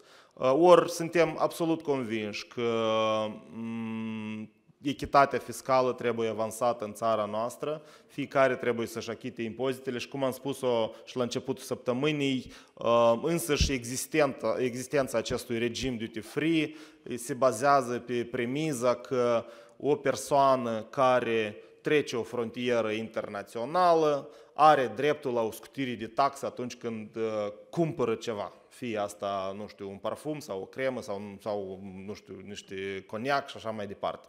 Uh, asta este o premiză falsă în secolul 21 uh, și vrem să o, să, să o punem la mare îndoială din, în primul rând din punctul de vedere, cum am spus, a echității fiscale. Toți trebuie să contribuie la stat, toți trebuie să, să achite aceleași impozite și atunci când uh, la distanță de 20 de metri, două magazine diferite care poate vând același produs, unul plătește TVA, taxe, de, uh, taxe vamală, acciză și altul nu plătește, Uh, asta nu este tocmai corect. Făcând abstracții de la faptul că noi ne-am obișnuit că duty free există peste tot și așa mai departe. El există, dar el este permanent revizuit, permanent limitat, ori ceea ce era 20 de ani în urmă și limitările la care sunt supuse vânzările duty free, inclusiv în, pe piața din UE, sunt uh, două lucruri diferite. Acum sunt limite și la cantitatea de țigări, de alcool pe care poți să o cumperi și așa mai departe și așa mai departe.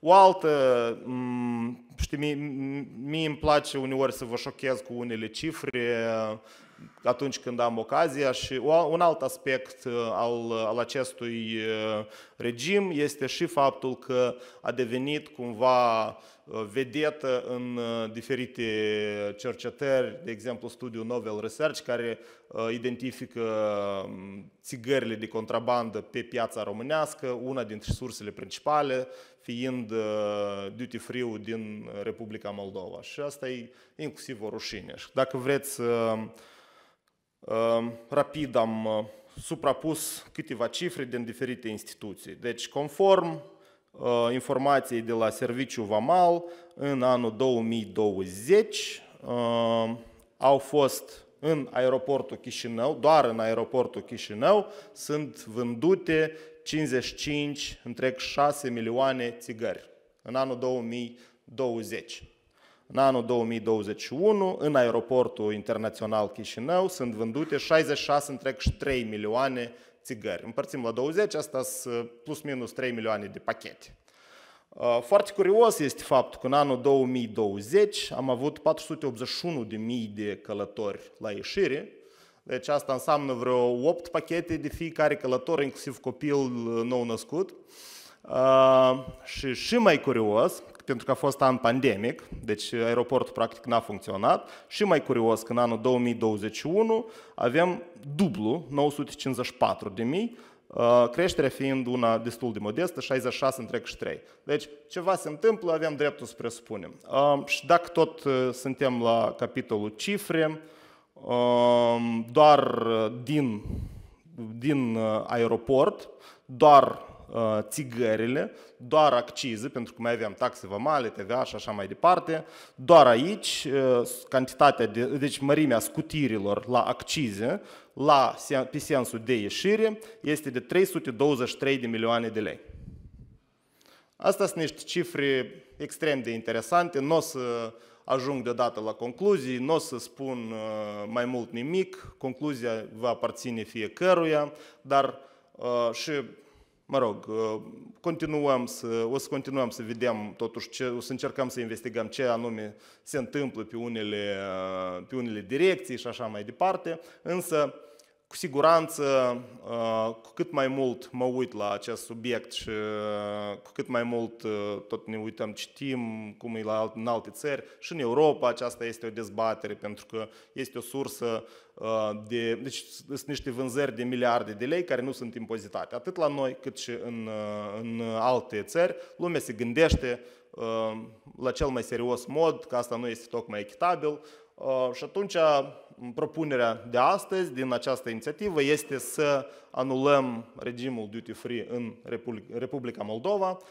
astfel încât să mm, identificăm și o sursă de venit la buget și să prevenim unele riscuri de contrabandă care sunt recunoscute nu doar de noi, dar și de vecinii noștri care sunt un punct de destinație de, această, de aceste produse de contrabandă. Și, cum am spus, asigurăm o echitate cel puțin un pas înainte în această direcție, ca toți să-și plătească taxele și toți să-și uh, achite impozitele la stat în mod egal, să-și achite partea corectă a impozitelor, uh, astfel încât acest stat să poată uh, ajuta pe cei mai vulnerabili dintre cetățenii săi, să poată ajuta antreprenorii într-o perioadă deloc ușoară.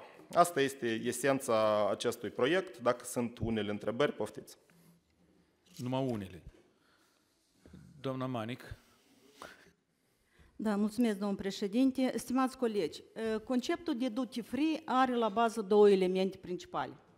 Oferirea pentru consumatori a unor prețuri accesibile la produsele comercializate și posibilitatea identificării unei varietăți mari de produse.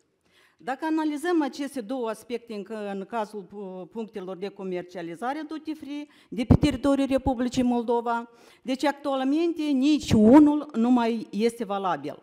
Referindu-ne strict la acest proiect de lege, îl consider unul bun și argumentat, ținând cont și de dezbaterile actuale la nivel internațional despre corectitudinea și echitatea extinderii magazinelor duty free.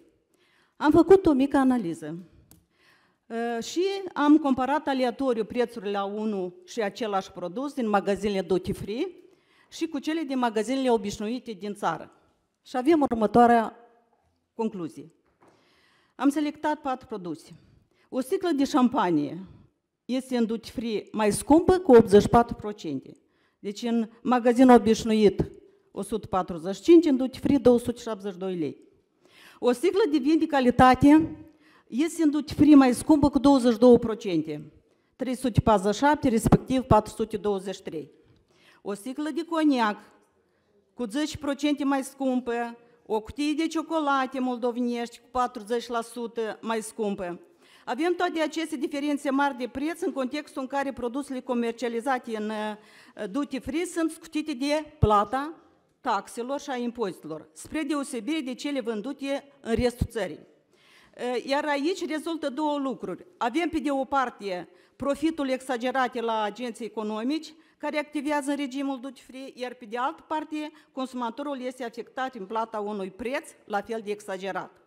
Constatăm că anularea regimului duty free propusă în acest proiect de lege nu afectează nici de cum Uh, nici într-un fel consumatorul final și uh, agenții economici. Vă rog, vă rog domnul Alaiba, în special pentru cetățenii care privesc, vă dau o întrebare. Care sunt beneficiile care apar și, se câștig, și ce câștigă statul în urma acestor modificări? Mulțumesc! care sunt beneficiile uh, pentru stat. Deci aveți dreptate, doamna Manic, în primul rând prețurile nu sunt, însăși noțiunea de duty free cumva e puțin manipulatorii, crezi că acolo e mai ieftin. Acolo nu e mai ieftin și ați dat uh, niște cifre destul de convingătoare.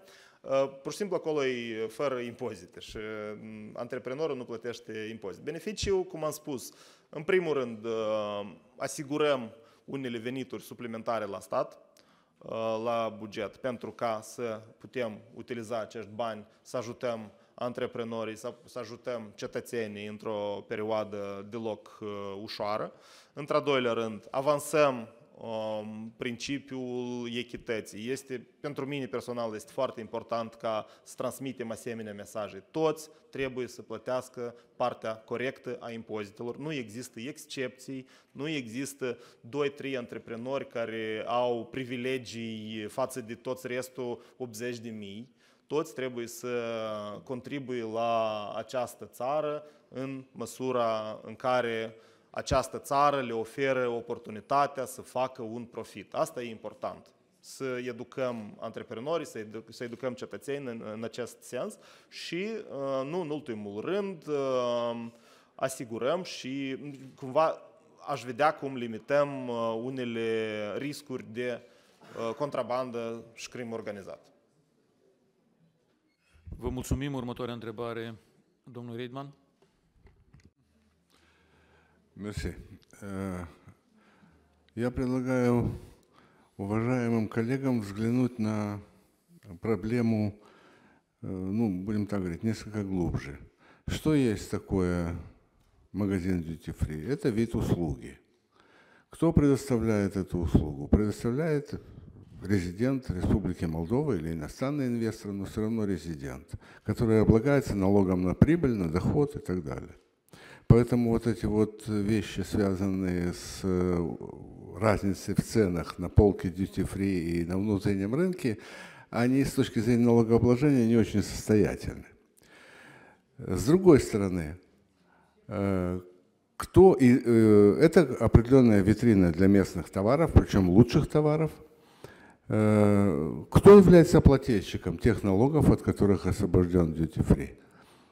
Э, от уплаты которых освобожден free. Вовсе не free, а, а производитель этих товаров. Производитель шампанского, вина, коньяка, конфет, шоколада и так далее. Э, так мы ему поможем. У него есть какой-то объем, причем хорошего, качественного товара, который он проводит туда. Мы ему так помогаем, обложим его, э, так сказать, э, дополнительным налогом.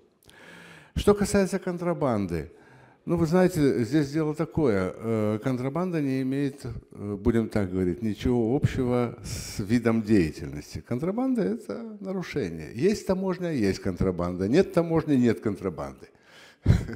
Поэтому э, с контрабандой надо бороться не запрещением вида деятельности, а э, правоохранительным способом, правильно? Контрабанда и прочие нарушения, в том числе налоговые.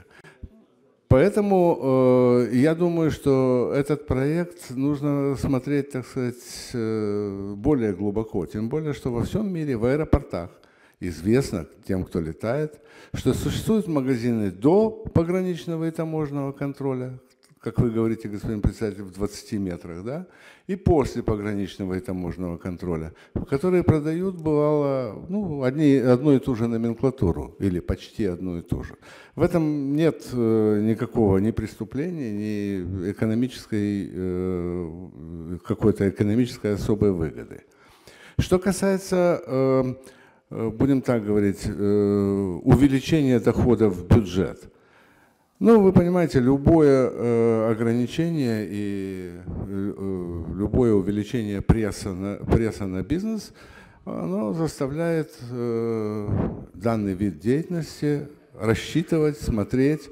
Скорее всего, это сократятся площади этого магазина, площади этой торговой, этого торговой точки, сократится Э, персонал этой торговой точки, что, безусловно, повлияет на доходы, предположим, предприятия аэропорт от аренды этой площади и социального бюджета, э, государственного бюджета, местных бюджетов, куда поступает подоходный налог от персонала, социальные взносы и взносы в медицинское страхование.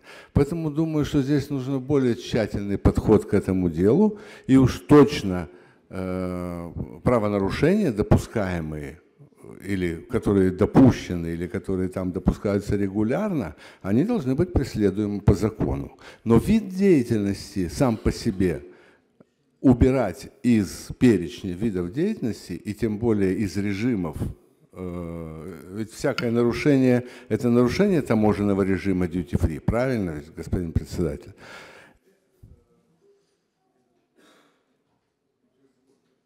În continuare, да, да. Секунд. Э, сам вид деятельности нет смысла убирать, по крайней мере, пока в мире существует такие виды, такой вид деятельности во всех э, странах. Спасибо. Da, mulțumesc, domnule Regan. Noi am discutat și în, și în comisie. Um, acest concept, într-adevăr, este supus unei regândiri permanent. Și cum v-am spus, duty free-ul de 20 de ani în urmă e foarte diferit de duty free-ul de acum în Europa. Sunt țări în Asia unde um, regimul ăsta e într-o generoasă expansiune, dar noi nu vrem să mergem încolo. Uh, sunt țări în care duty free-ul deja nu încape în aeroport și îi construiesc uh, și îl scot afară. Iată, înspre asta poți merge încolo, pot să, au fost inițiative și la noi, la, iată, nu sunt colegii, vreau eu odineauri, vreo trei ani în urmă să fac și benzinării în duty free.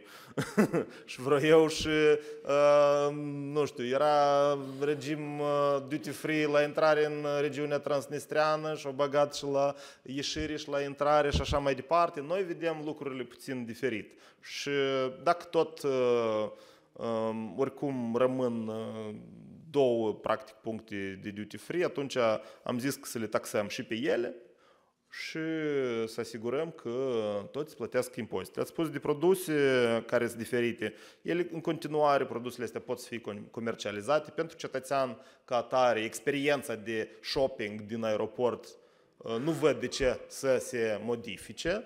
Pur și simplu, antreprenorul o să trebuiască să achite taxele toate, de, absolut, despre impozit pe venit, eu nu știu cât, chiar o să aflu, nu m-am uitat la, n-am, n-am întrebat cam cât impozite plătesc un antreprenor sau altul, nu e vorba de asta. E vorba de fapt că precis nu-s 2 miliarde.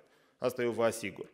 Uh, și despre venituri la stat, uh, v-am spus, uh, aici e vorba de, în primul rând, de asigurarea unei echități. Și dacă tot noi vorbim de un anumit comportament al oamenilor, care, nu știu, cumpără, de exemplu, din, dintr-un magazin sau dintr-un, dintr-un butic un uh, cadou, un suvenir, nu știu, bomboane, o sticlă și așa mai departe, acest comportament n-ar trebui să sufere modificări și acești bani pe care oamenii îi cheltuie, probabil că o să continue să-l cheltuie fie în duty free, fie într-un, într nu știu, într-un supermarket de lângă aeroport. Deci banii ăștia oricum au să, au să fie încasați, probabil nu direct din punctul de la aeroport, pentru că atunci ai să ai cel mai probabil condiții egale.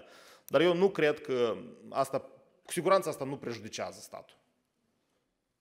Scuzați, vă rog, dar cărți se vând în duty free? Cărți?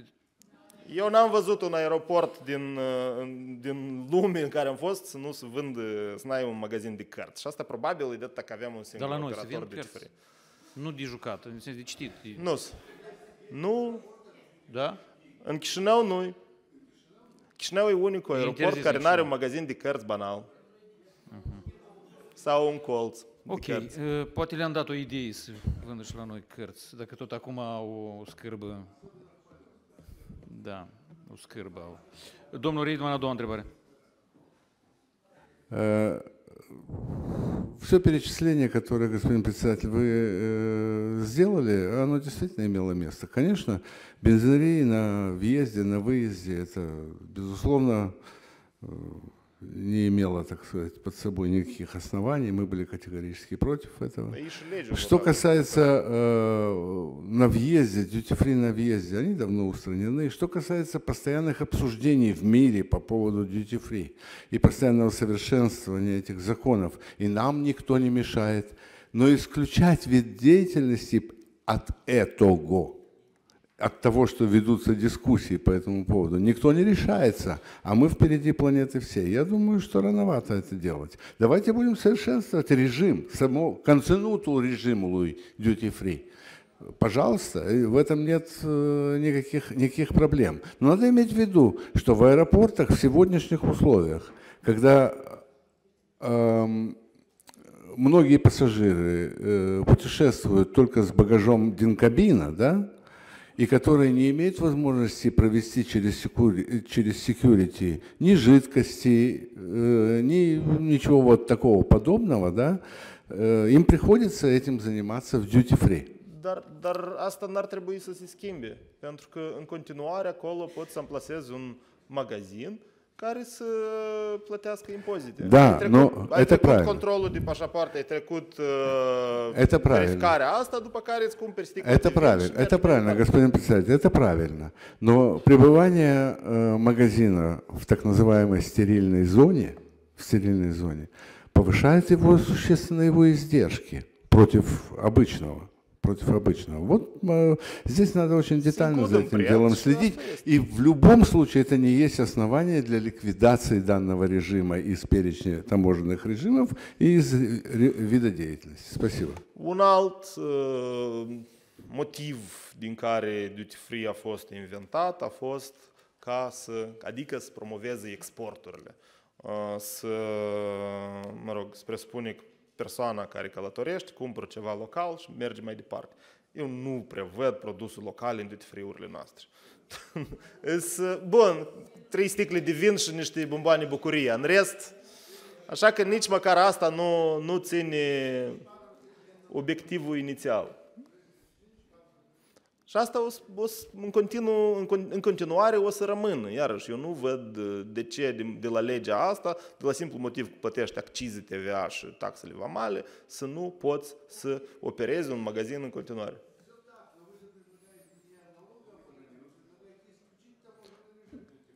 Respectiv, să fie fix așa cum e un supermarket ordinar, la urmea urmei.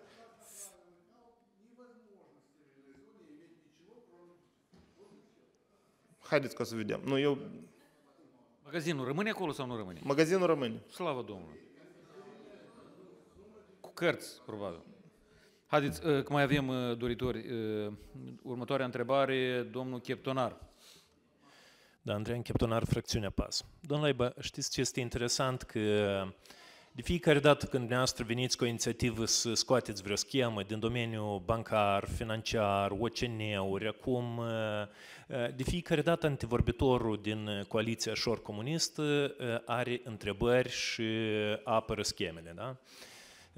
Eu cumva vreau să vă spun experiența, deci în, în regiunea Ungheni avem Vama Sculeni, unde există magazine duty, duty free, ce se întâmplă, omul trece controlul vamal, îl caută și un câine antitutun, să zicem, are mașina curată, după care se oprește la duty free, își tixește mașina cu, cu țigări, după care îl prinde vama românească sau deja poliția în Iași, și noi se primește că suntem ineficienți în lupta cu contrabanda. Vreau să accentuez încă și spusele doamnei Manic, care a evidențiat că produsele de multe ori sunt mult mai scumpe decât în alte magazine și din ce înțeleg, noi nu vom interzice amplasarea magazinelor în zonele sterile, în zonele dintre vămi, noi doar le vom impune taxe. Da? Cum, vreau să vă întreb dacă dumneavoastră ați făcut o estimare, ca urmare a implementării acestui proiect de acestei legi, câte taxe în TVA vor fi colectate în plus la bugetul Republicii Moldova. Mulțumesc!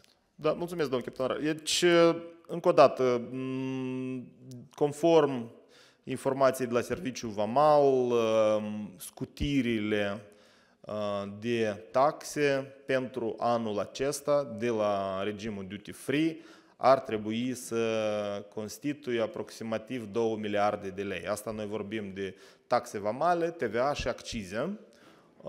De la anularea acestui regim, evident că nu toate, asta nu sunt bani care sunt deodată încasați în buget și noi acceptăm asta. Acum, estimările Ministerului Finanțelor care am lucrat la acest proiect și inclusiv confirmate și de serviciu fiscal, sugerează că, și nici asta, deci nu există o garanție. De, de ce eu nu vreau să dau cifre de asta tari? Pentru că um, comportamentul oamenilor noi nu știm și nu știm ce o să urmeze la anul. Dacă noi avem, de exemplu, următoarea pandemie sau cine știe ce, atunci din nou n-ai să ai, n-ai să ai venit și ai să dai vina pe minic din cauza legii asta. De fapt, motivii sunt potențial foarte mult. Dar estimările la moment sugerează că ar trebui să putem încasa aproximativ 500 de milioane de lei. Cât de adevărate și cât de, cât de bine vor fi confirmate în, în anul viitor, o să vedem. Nu este un angajament și o promisiune. Cert este că suntem pe plus. Asta e deci, încă o dată, nu vedem de ce să se închidă magazine, nu vedem de ce acești oameni care lucrează acolo cinstit să-și piardă locurile de muncă. Nu, aș vrea să anticipez unele, știți, porniri de la, probabil, posibil, unii colegi care ar, ar încerca acum să pornească niște panic și așa mai departe. În continuare, cum au lucrat, așa, așa o să lucreze, doar că deci pentru angajat, pentru simplu angajat, n-ar trebui să schimbi nimic o să trebuiască patronii să plătească impozite. Asta e tot. Vă mulțumim frumos. Următoarea întrebare, domnul Carp. Domnul autor, ce să vă spun, noi nu știu cum se întâmplă că băieții ăștia care, nu toți, clar că sunt și uh, unii agenți economici conștiincioși care lucrează în, în zona duty free, dar nu știu cum se întâmplă cei care au furat și miliardul și ne fură și bani de la buget prin uh, intermediul duty free și tot așa care au deschis ușa, să fură miliardul, tot așa își apără. Dar uh, un lucru este important, că noi cumva trebuie să beneficiem de impozitele care, care, sunt, care trebuie plătite. Pentru că în cazul când uh, nu există nicio reglementare fiscală, oamenii pot pune ce prețuri doresc acolo. Da, asta este cea mai mare problemă. Nu există niciun control din partea statului ca să fie un control. Și uh, dacă în magazin costă același produs 30 uh, de lei, pot să-l pună 29 întreg și 50 sau 29 întreg și 80, ar părea cu 20 de bani mai ieftin, cumva devine atractiv, dar nu se ia în considerație că cel care cu vinde cu 30 de lei, el 10 lei plătește, sau un leu o plătește, sau 3 plătește în bugetul de stat, ăsta nu plătește nimic. Și eu cred că noi trebuie să oprim uh, finanțarea unor uh, șarlatani, asta este unul, și da, poate noi să ne gândim în felul că pot plăti un procent mai mic sau mai nu știu ce, dar trebuie să avem părghii care să poată reglementa. Și doi, eu cred că ninuni ca în duty moldovenesc la Vama de Ușeni nu nicăiere. Când toată lumea există numai la ieșire din Republica Moldova, da? Dacă ar fi un duty free, trebuie să fie din partea rom- cum, română, trebuie să fie un duty free care să intre în Republica Moldova. Acolo nu există și minunea se întâmplă numai din partea Republicii Moldova. Da. Noi și la intrare și la ieșire da, avem, avem uh, duty free și iarăși la un singur om. De aceea, da, mai avut noi și alte minuni, am avut și, cum zice, în Transnistria, parcă avea echipurile că trece hotar. Au mai vrut băieții pentru un proiect de lege să construiască benzinării. Eu am fost autorul, cum zice, împreună cu domnul Deliu la Curtea Constituțională și am anulat acea modificare legislativă prin care băieții au încercat să construiască benzinării în, în zona duty free. Era și o schemă, rulajul. Da, și ăștia vin și te învață a trăi după asta. Deci eu vă doresc succes la proiectul de lege și lumea trebuie să înțeleagă că vom avea la bugetul de stat da, câteva sute de milioane de lei care vor fi plătite impozite pe care noi dorim să le orientăm spre rezolvarea unor probleme sociale. Atât. Da, mulțumesc, domnul Carp. Știți, eu chiar mi-amintesc cum autorii acestui, acelui miracula, miraculos proiect uh, de instalarea, uh, de, permi, de, de a oferi permisiunea de a instala benzinării în regim duty-free, îl prezentau, era, dacă nu greșesc, într-o conferință de presă și ei așa și spuneau că, dacă eu nu greșesc, eu că a fost totuși vreo 5 ani în urmă, ei spuneau că, într-adevăr, Uh, prea multă practică mondială privind uh, benzinării în regim duty-free nu există, dar asta poate funcționa în Republica Moldova și așa mai departe. Și acum mă întrebați dacă există mult practică internațională în anularea în general a regimului duty-free. Eu o să vă recunosc, prea mult practică nu există, dar noi am putea seta un precedent. Fix așa cum Parlamentul precedent a făcut o, o gafă permițând de fapt, făcând o lege care permite benzinării în regim duty-free, noi putem să îndrăznim să facem, iată, asta. Și o să reușim. Adică nu gafă, noi să corectăm. Nu, noi gafă nu facem. Păi asta, exemplu s-a pornit din altă parte. Domnul Frunză. Noi, da, eu cred că este un proiect uh, care, um, știți, doar cine nu îndrăznește reforme mai, uh, mai așa, mai, mai radicale, nu greșește. Uh, o să revenim și o să corectăm în cazul în care o să vedem unele efecte pe care nu ne le-am dorit, dar principiul este pe care vi l-am explicat. Toți trebuie să-și achite impozitele și la asta dacă pornim, uh, o să ne asumăm în cazul în care o să observăm unele um, efecte pe care nu le-am dorit și o să intervenim la nivel de guvern, la nivel de parlament, putem să ne mișcăm repede când, uh, când dorim și asta și este ideea unui, unui proces de reformă. Ea niciodată nu terminată până la urmă. În momentul în care, iată, votăm legea asta, imediat revenim de la început și vedem monitorizarea și vedem care, este, care, sunt, care sunt uh, efectele potențiale ca să, ca să ne corectăm ceea ce am făcut ieri. Vă mulțumim. Uh, următorul um, deputat, domnul Frunze. Mulțumesc.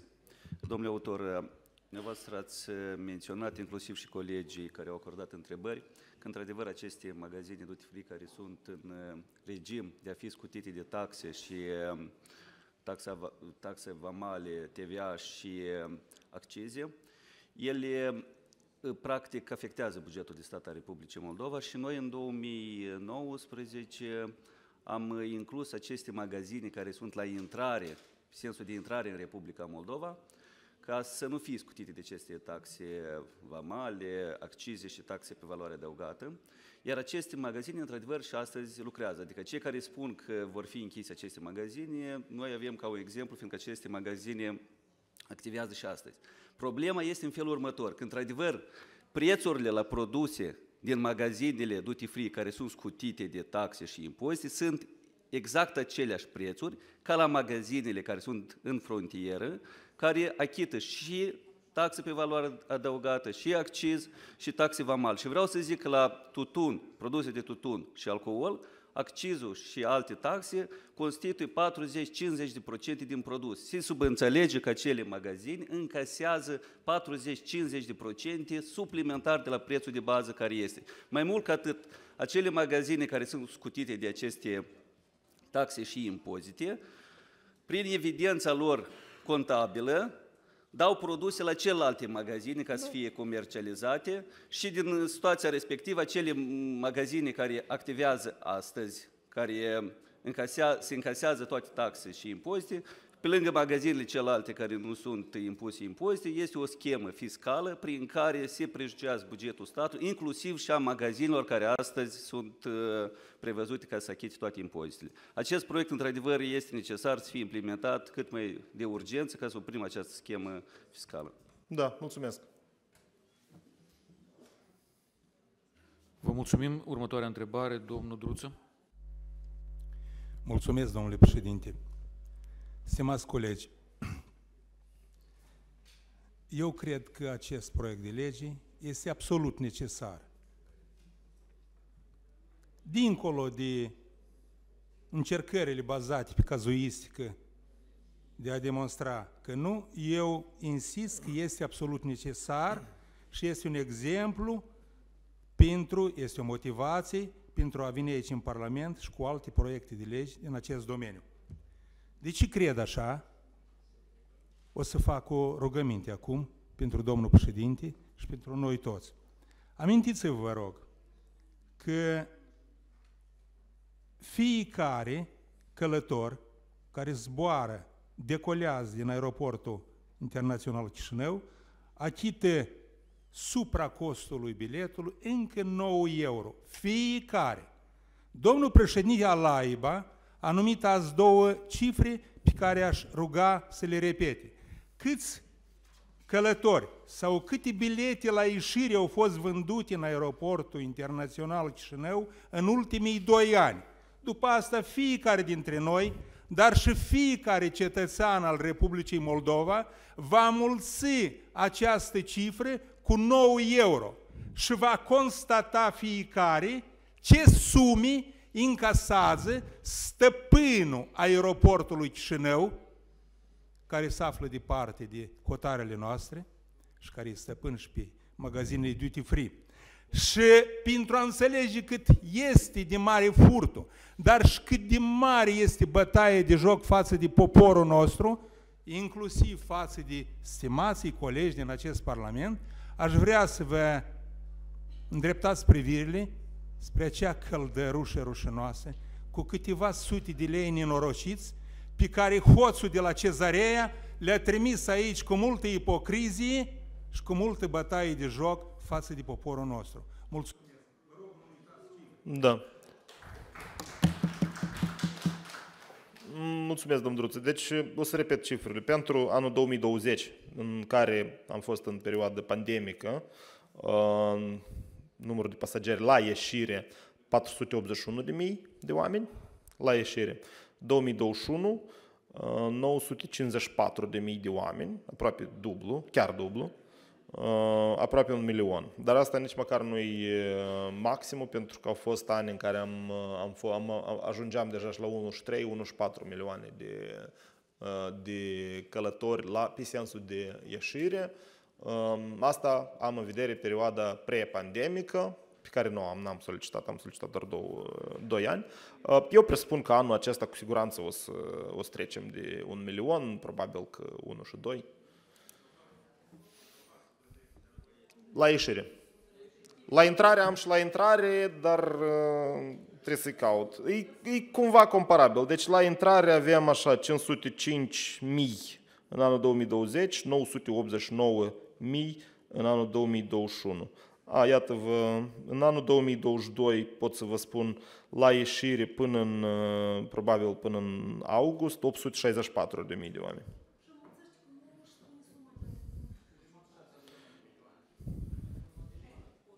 Să mulțească un milion cu 9 nu e așa de greu. Da, deci pentru 2020, 2021 vorbim de aproximativ taxa aeroportoară de aproximativ un, uh, un milion la 9, 9 milioane. De euro.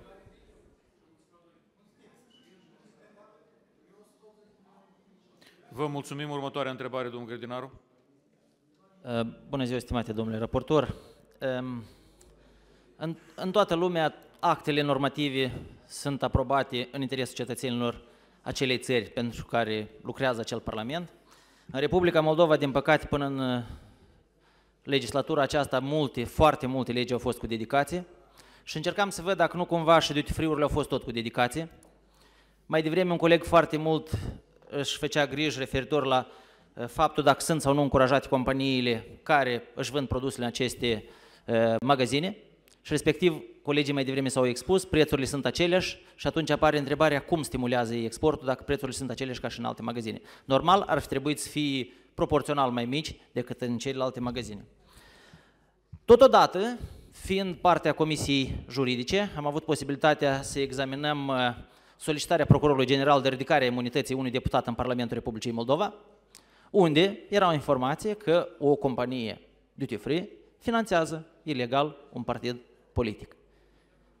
Altfel spus, iată unde este răspuns la întrebare a cui era interesul la duty free. Deci banii de la duty free se duceau la un partid politic. Eu nu știu dacă ele se mai duceau și la alt partid, dar din, acel, din acele informații aveam uh, certitudinea că cel puțin un partid se hrănea din acest duty free. Și dacă tot noi ne îngrijim atât de mult de uh, companiile noastre din Republica Moldova, întrebarea este logică. Dacă nu considerăm că chiar și în situația în care ele rămân și sunt impozitate ca celelalte um, regimuri sau este echivalat cu celălalt regim, întrebarea este dacă nu credem noi că este ok ca în aceste duty free-uri să vândă doar produse autohtone. Mulțumesc. Nu știu dacă noi puteam uh, legitim să intervenim ca, cu așa reglementare, pentru că totuși suntem o economie de piață și fiecare antreprenor decide ce anume vinde în magazinul său, ce parfum vinde și ce cremă vinde și ce sticlă de ce vinde și haină. Uh, referitor la comentariul nostru precedent, uh, da, am văzut și eu acele, acele uh, fapte, dar totuși nu uităm că noi vorbim de două companii care mm, sunt în acest regim și eu aș prefera, știți, mm, cum anume se comportă una din ele, Uh, chiar uh, mă aștept ca și dumneavoastră și ca și toți noi, uh, mă aștept la și, și la unele rezultate și la unele chestii palpabile, clare, de la oamenii care sunt plătiți din banii statului ca să-și facă munca și să investigheze calitativ. Dar aici, totuși, noi vorbim de asigurarea, în primul rând să ne asigurăm că toți își plătesc impozitele și toți sunt în aceleași condiții. Iar dacă cineva folosește banii pentru a face lucruri murdare, pentru a-și finanța campanii politice mizerabile din bani uh, murdari furați, atunci uh, probabil ar trebui să vorbească foarte serios cu procurorii. Și o să ajungem la acel moment în care asta o să se întâmple, eu cred asta cu desăvârșire. Vă mulțumim. Alte întrebări nu sunt? Nu, sunt alte întrebări. Domnul Gheorghesi? Da, mulțumesc, domnule președinte. Asistăm uh, uh, ceea ce am văzut în partea comunistă a sălii, că într-adevăr funcționează principiul o mână spală pe alta. Uh, domnul care a motivat că este bine, are în vedere că noi vă susținem acest business, dar voi finanțați mai departe plătiți acei protestatari care uh, vin cu ziua aici să protesteze. Desigur că aceste magazine vor funcționa mai departe, vor plăti impozite și noi vom susține și părțile mai vulnerabile a societății. Sigur că aceste magazine vor funcționa și au tot potențialul să promoveze produsele noastre autohtone. Nimeni nu le interzice, va din potrivă să scadă prețurile. Uh, credeți că cumva vor fi afectate uh, aceste magazine prin prevederile care dumneavoastră le promovați în acest proiect de lege? Poftim? Dacă vor fi afectate, vor fi închise, Nu, Sau încă o dată, vor nu, rămâne în continuare? Nu există niciun motiv ca să credem că magazinele ar trebui să fie închise. Cu siguranță nu asta este scopul legii, nu asta sunt prevederile acestui proiect, uh, nu asta ne dorim. Ne dorim ca toți, încă o dată, să plătească taxele și impozitele la stat uh, în, uh, în mod echitabil. Asta este tot. Cetățenii nu trebuie să resimtă um, acest uh, efect, da? că se închid magazinele și așa mai departe. Dacă cineva o supere și o să vrea să arate demonstrativ că iată ce fac ăștia din Parlament, ar putea să o facă, dar asta e businessul lui sau a ei. Vă mulțumim frumos, vă rog să luați loc. Nu știu. Mulțumesc.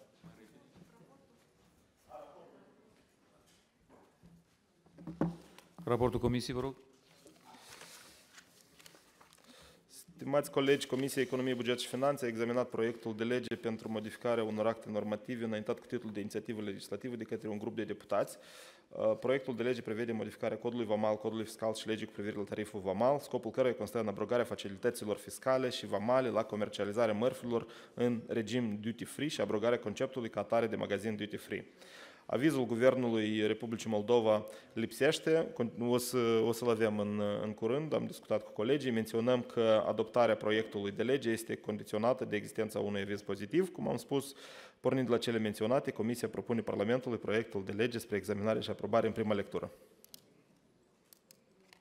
Stimați colegi, întrebări la raport? Întrebări nu sunt, vă rog să luați loc. Rog să ne pregătim pentru procedura de vot.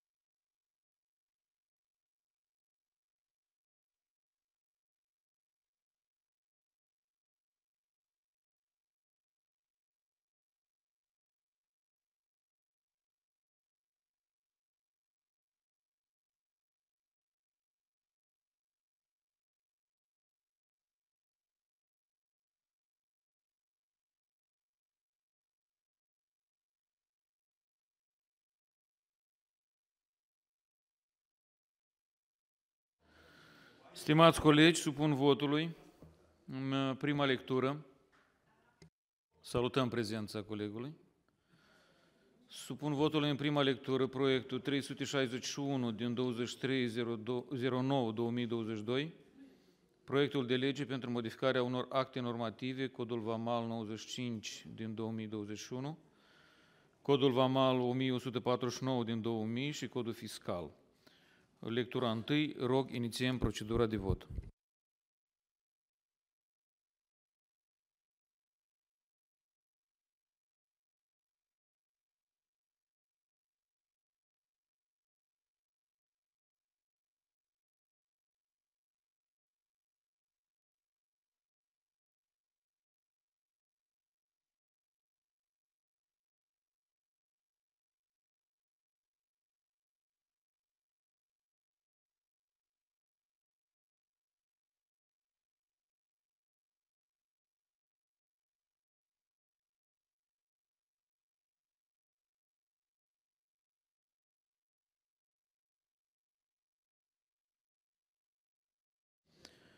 Stimați colegi, proiectul 361 din 23.09.2022, uh, proiect de lege pentru modificarea unor acte normative în lectura întâi, susținut de 54 de deputați. Vă mulțumesc.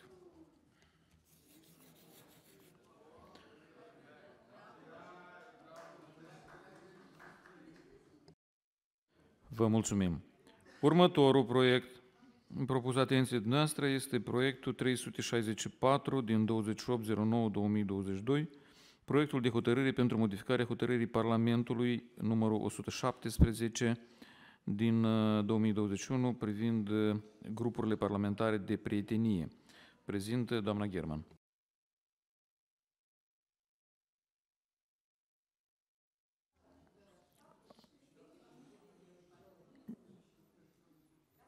Da, poftim. Uh, Rugămintea este mai întâi să fie prezentat proiectul 366?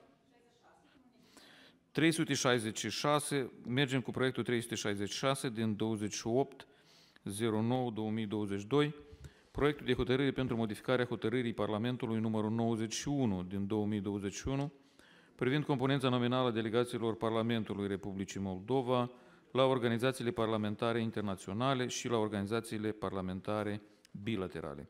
Prezintă doamna deputat uh, Veronica Roșca, vă rog. Domn președinte, vă mulțumesc, stimați colegi. Voi prezenta foarte succint acest proiect de hotărâre, care se modifică după cum urmează. La articolul 1, în compartimentul Adunarea Interparlamentară a țărilor membre ale CSI, la rubrica Șeful Delegației, poziția Bolea Vladimir, fracțiunea PAS, se exclude.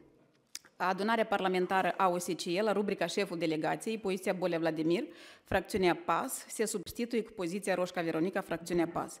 La articolul 2, în compartimentul Comisia Interparlamentară de Cooperare între Parlamentul Republicii Moldova și Adunarea Federală a Federației Ruse, la rubrica Membri, poziția Bolea Vladimir, fracțiunea PAS, se exclude. Astea fiind spuse, rog susținere. Vă mulțumim. Întrebăри, domnul Reidman? Да, скажите, пожалуйста, я не очень понял. В Межпарламентской ассамблее СНГ мы исключаем что? Руководителя делегации Домну Боля или только Домну Боля? Excludem pe domnul Bolea în calitate de șef a delegației. Aka, ok. Vladimir Bolea. Vladimir Bolea. Îl excludem sau nu îl excludem? În calitate de șef a delegației. Am înțeles. Alte întrebări? Alte întrebări nu sunt, vă rog să luați loc. Zic, trebuie de votat.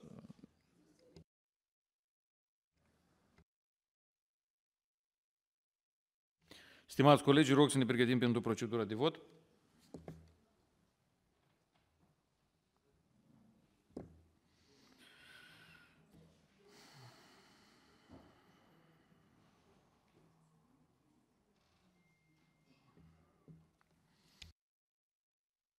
Supun votului proiectul 366 din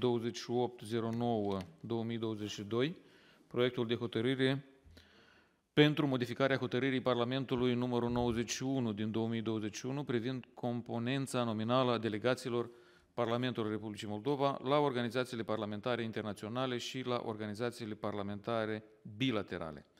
Rog, inițiem procedura de vot.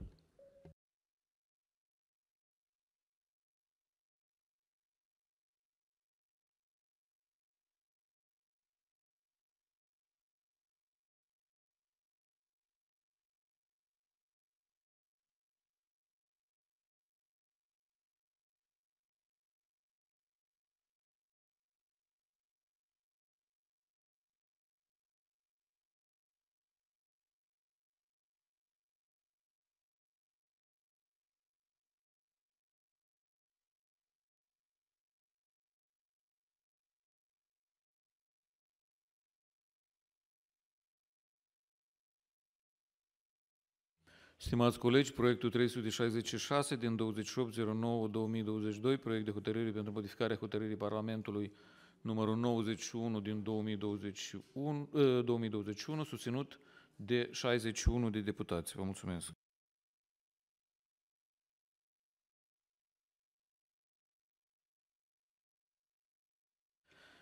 Următorul proiect, revenim la proiectul 364 din 28.09.2022, proiectul de hotărâre pentru modificarea hotărârii Parlamentului numărul 117 din 2021 privind grupurile parlamentare de prietenie.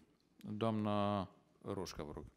Domnul președinte, stimați colegi, voi prezenta succint acest proiect de hotărâre înaintat și voi accentua că a fost elaborat în scopul actualizării textului hotărârii Parlamentului cu numărul 117 din 2021 privind grupurile parlamentare de prietenie conform componenței prezente a Corpului de Deputați.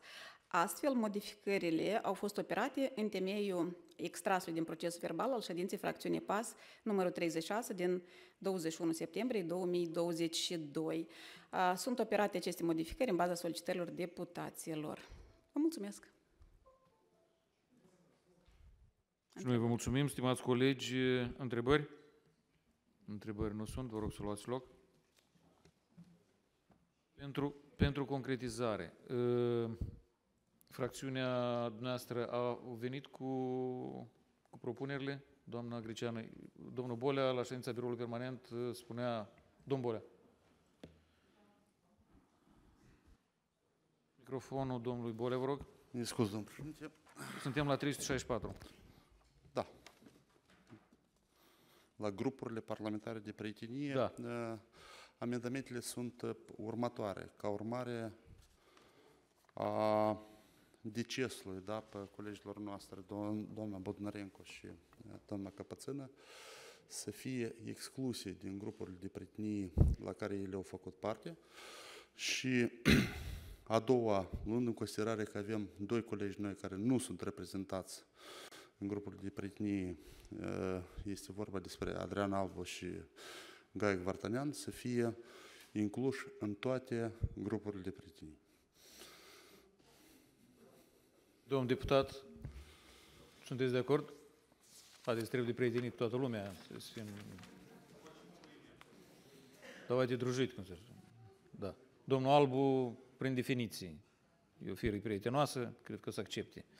Uh, Astea sunt două amendamente.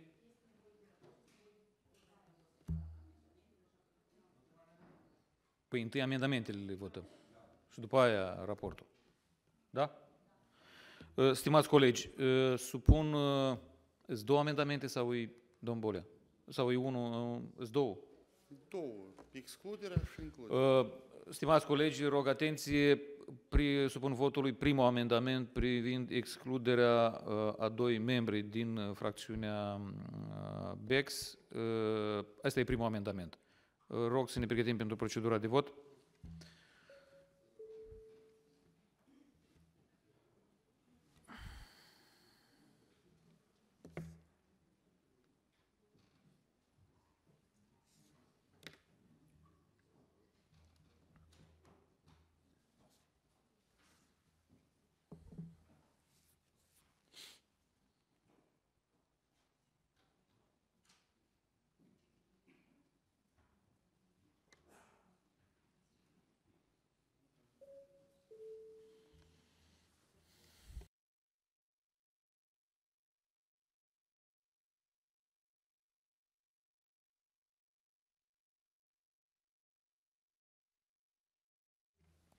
Stimați colegi, amendamentul domnului Bolea, primul amendament, a întâlnit 72 de voturi, vă mulțumesc.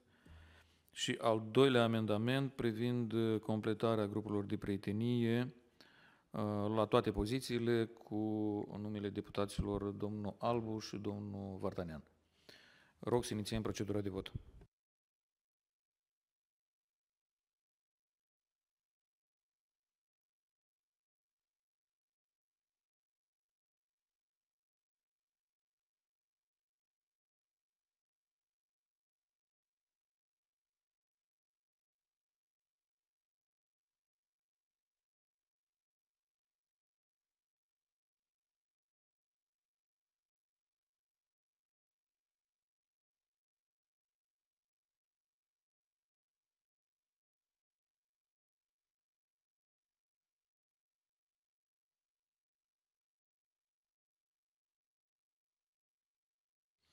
Stimați colegi, al doilea amendament al domnului Bolea a întrunit 69 de voturi, vă mulțumesc.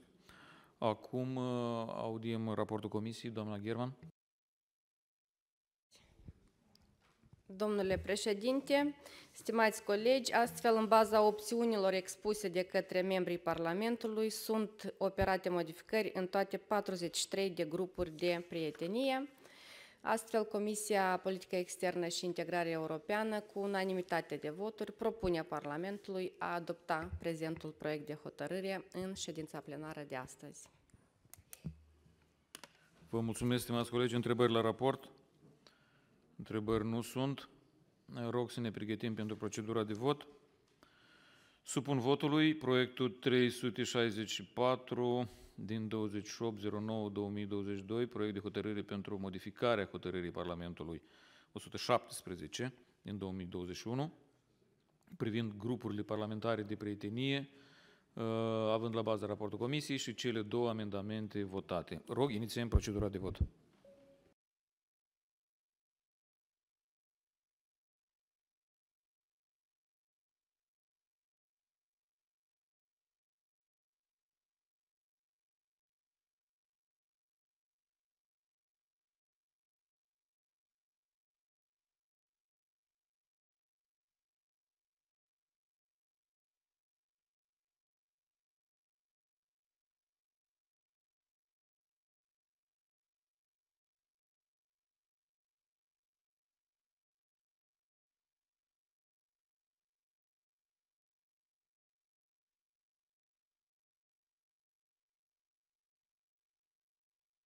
Stimați colegi, proiectul 364 din 2809-2022, proiect de hotărâre pentru modificarea hotărârii Parlamentului 117 din 2021 privind grupurile parlamentare de prietenie, susținut de 72 de deputați. Vă mulțumesc. Stimați colegi, aici am epuizat agenda pentru astăzi. Celelalte proiecte au parvenit solicitări din partea autorilor și autorităților să fie analizate săptămâna viitoare, data de 6. Nu înainte de a face un anunț foarte important pentru toți cetățenii Republicii Moldova, pe data de 1 și 2 octombrie sunteți așteptați la cea de-a 21-a ediție a Zilei Naționale a Vinului care va avea loc în piața Marii Adunări Naționale, dar și la vinăriile din țară. Industria vinului este o ramură care ne reprezintă cu succes țara ă, și în acest an, genericul fiind vinul meu aduce pace, ura în dragoste o preface. Atenție, nu uităm, consumăm responsabil. Da, produs alimentar autohton. Uh, alte anunțuri, interpelări, atât. Dacă nu sunt, vă mulțumesc frumos. Următoarea ședință pe data de 6 octombrie.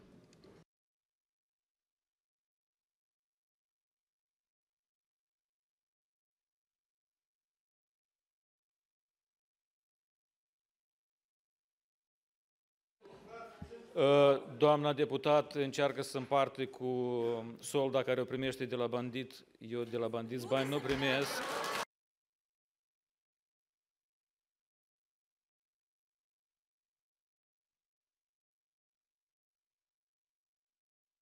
Hoții la pușcării, stimată doamnă.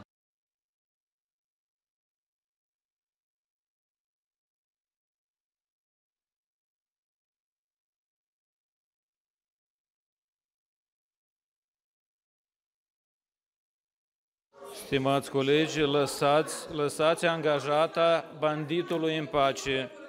Angajata banditului nu, nu merită atenția noastră.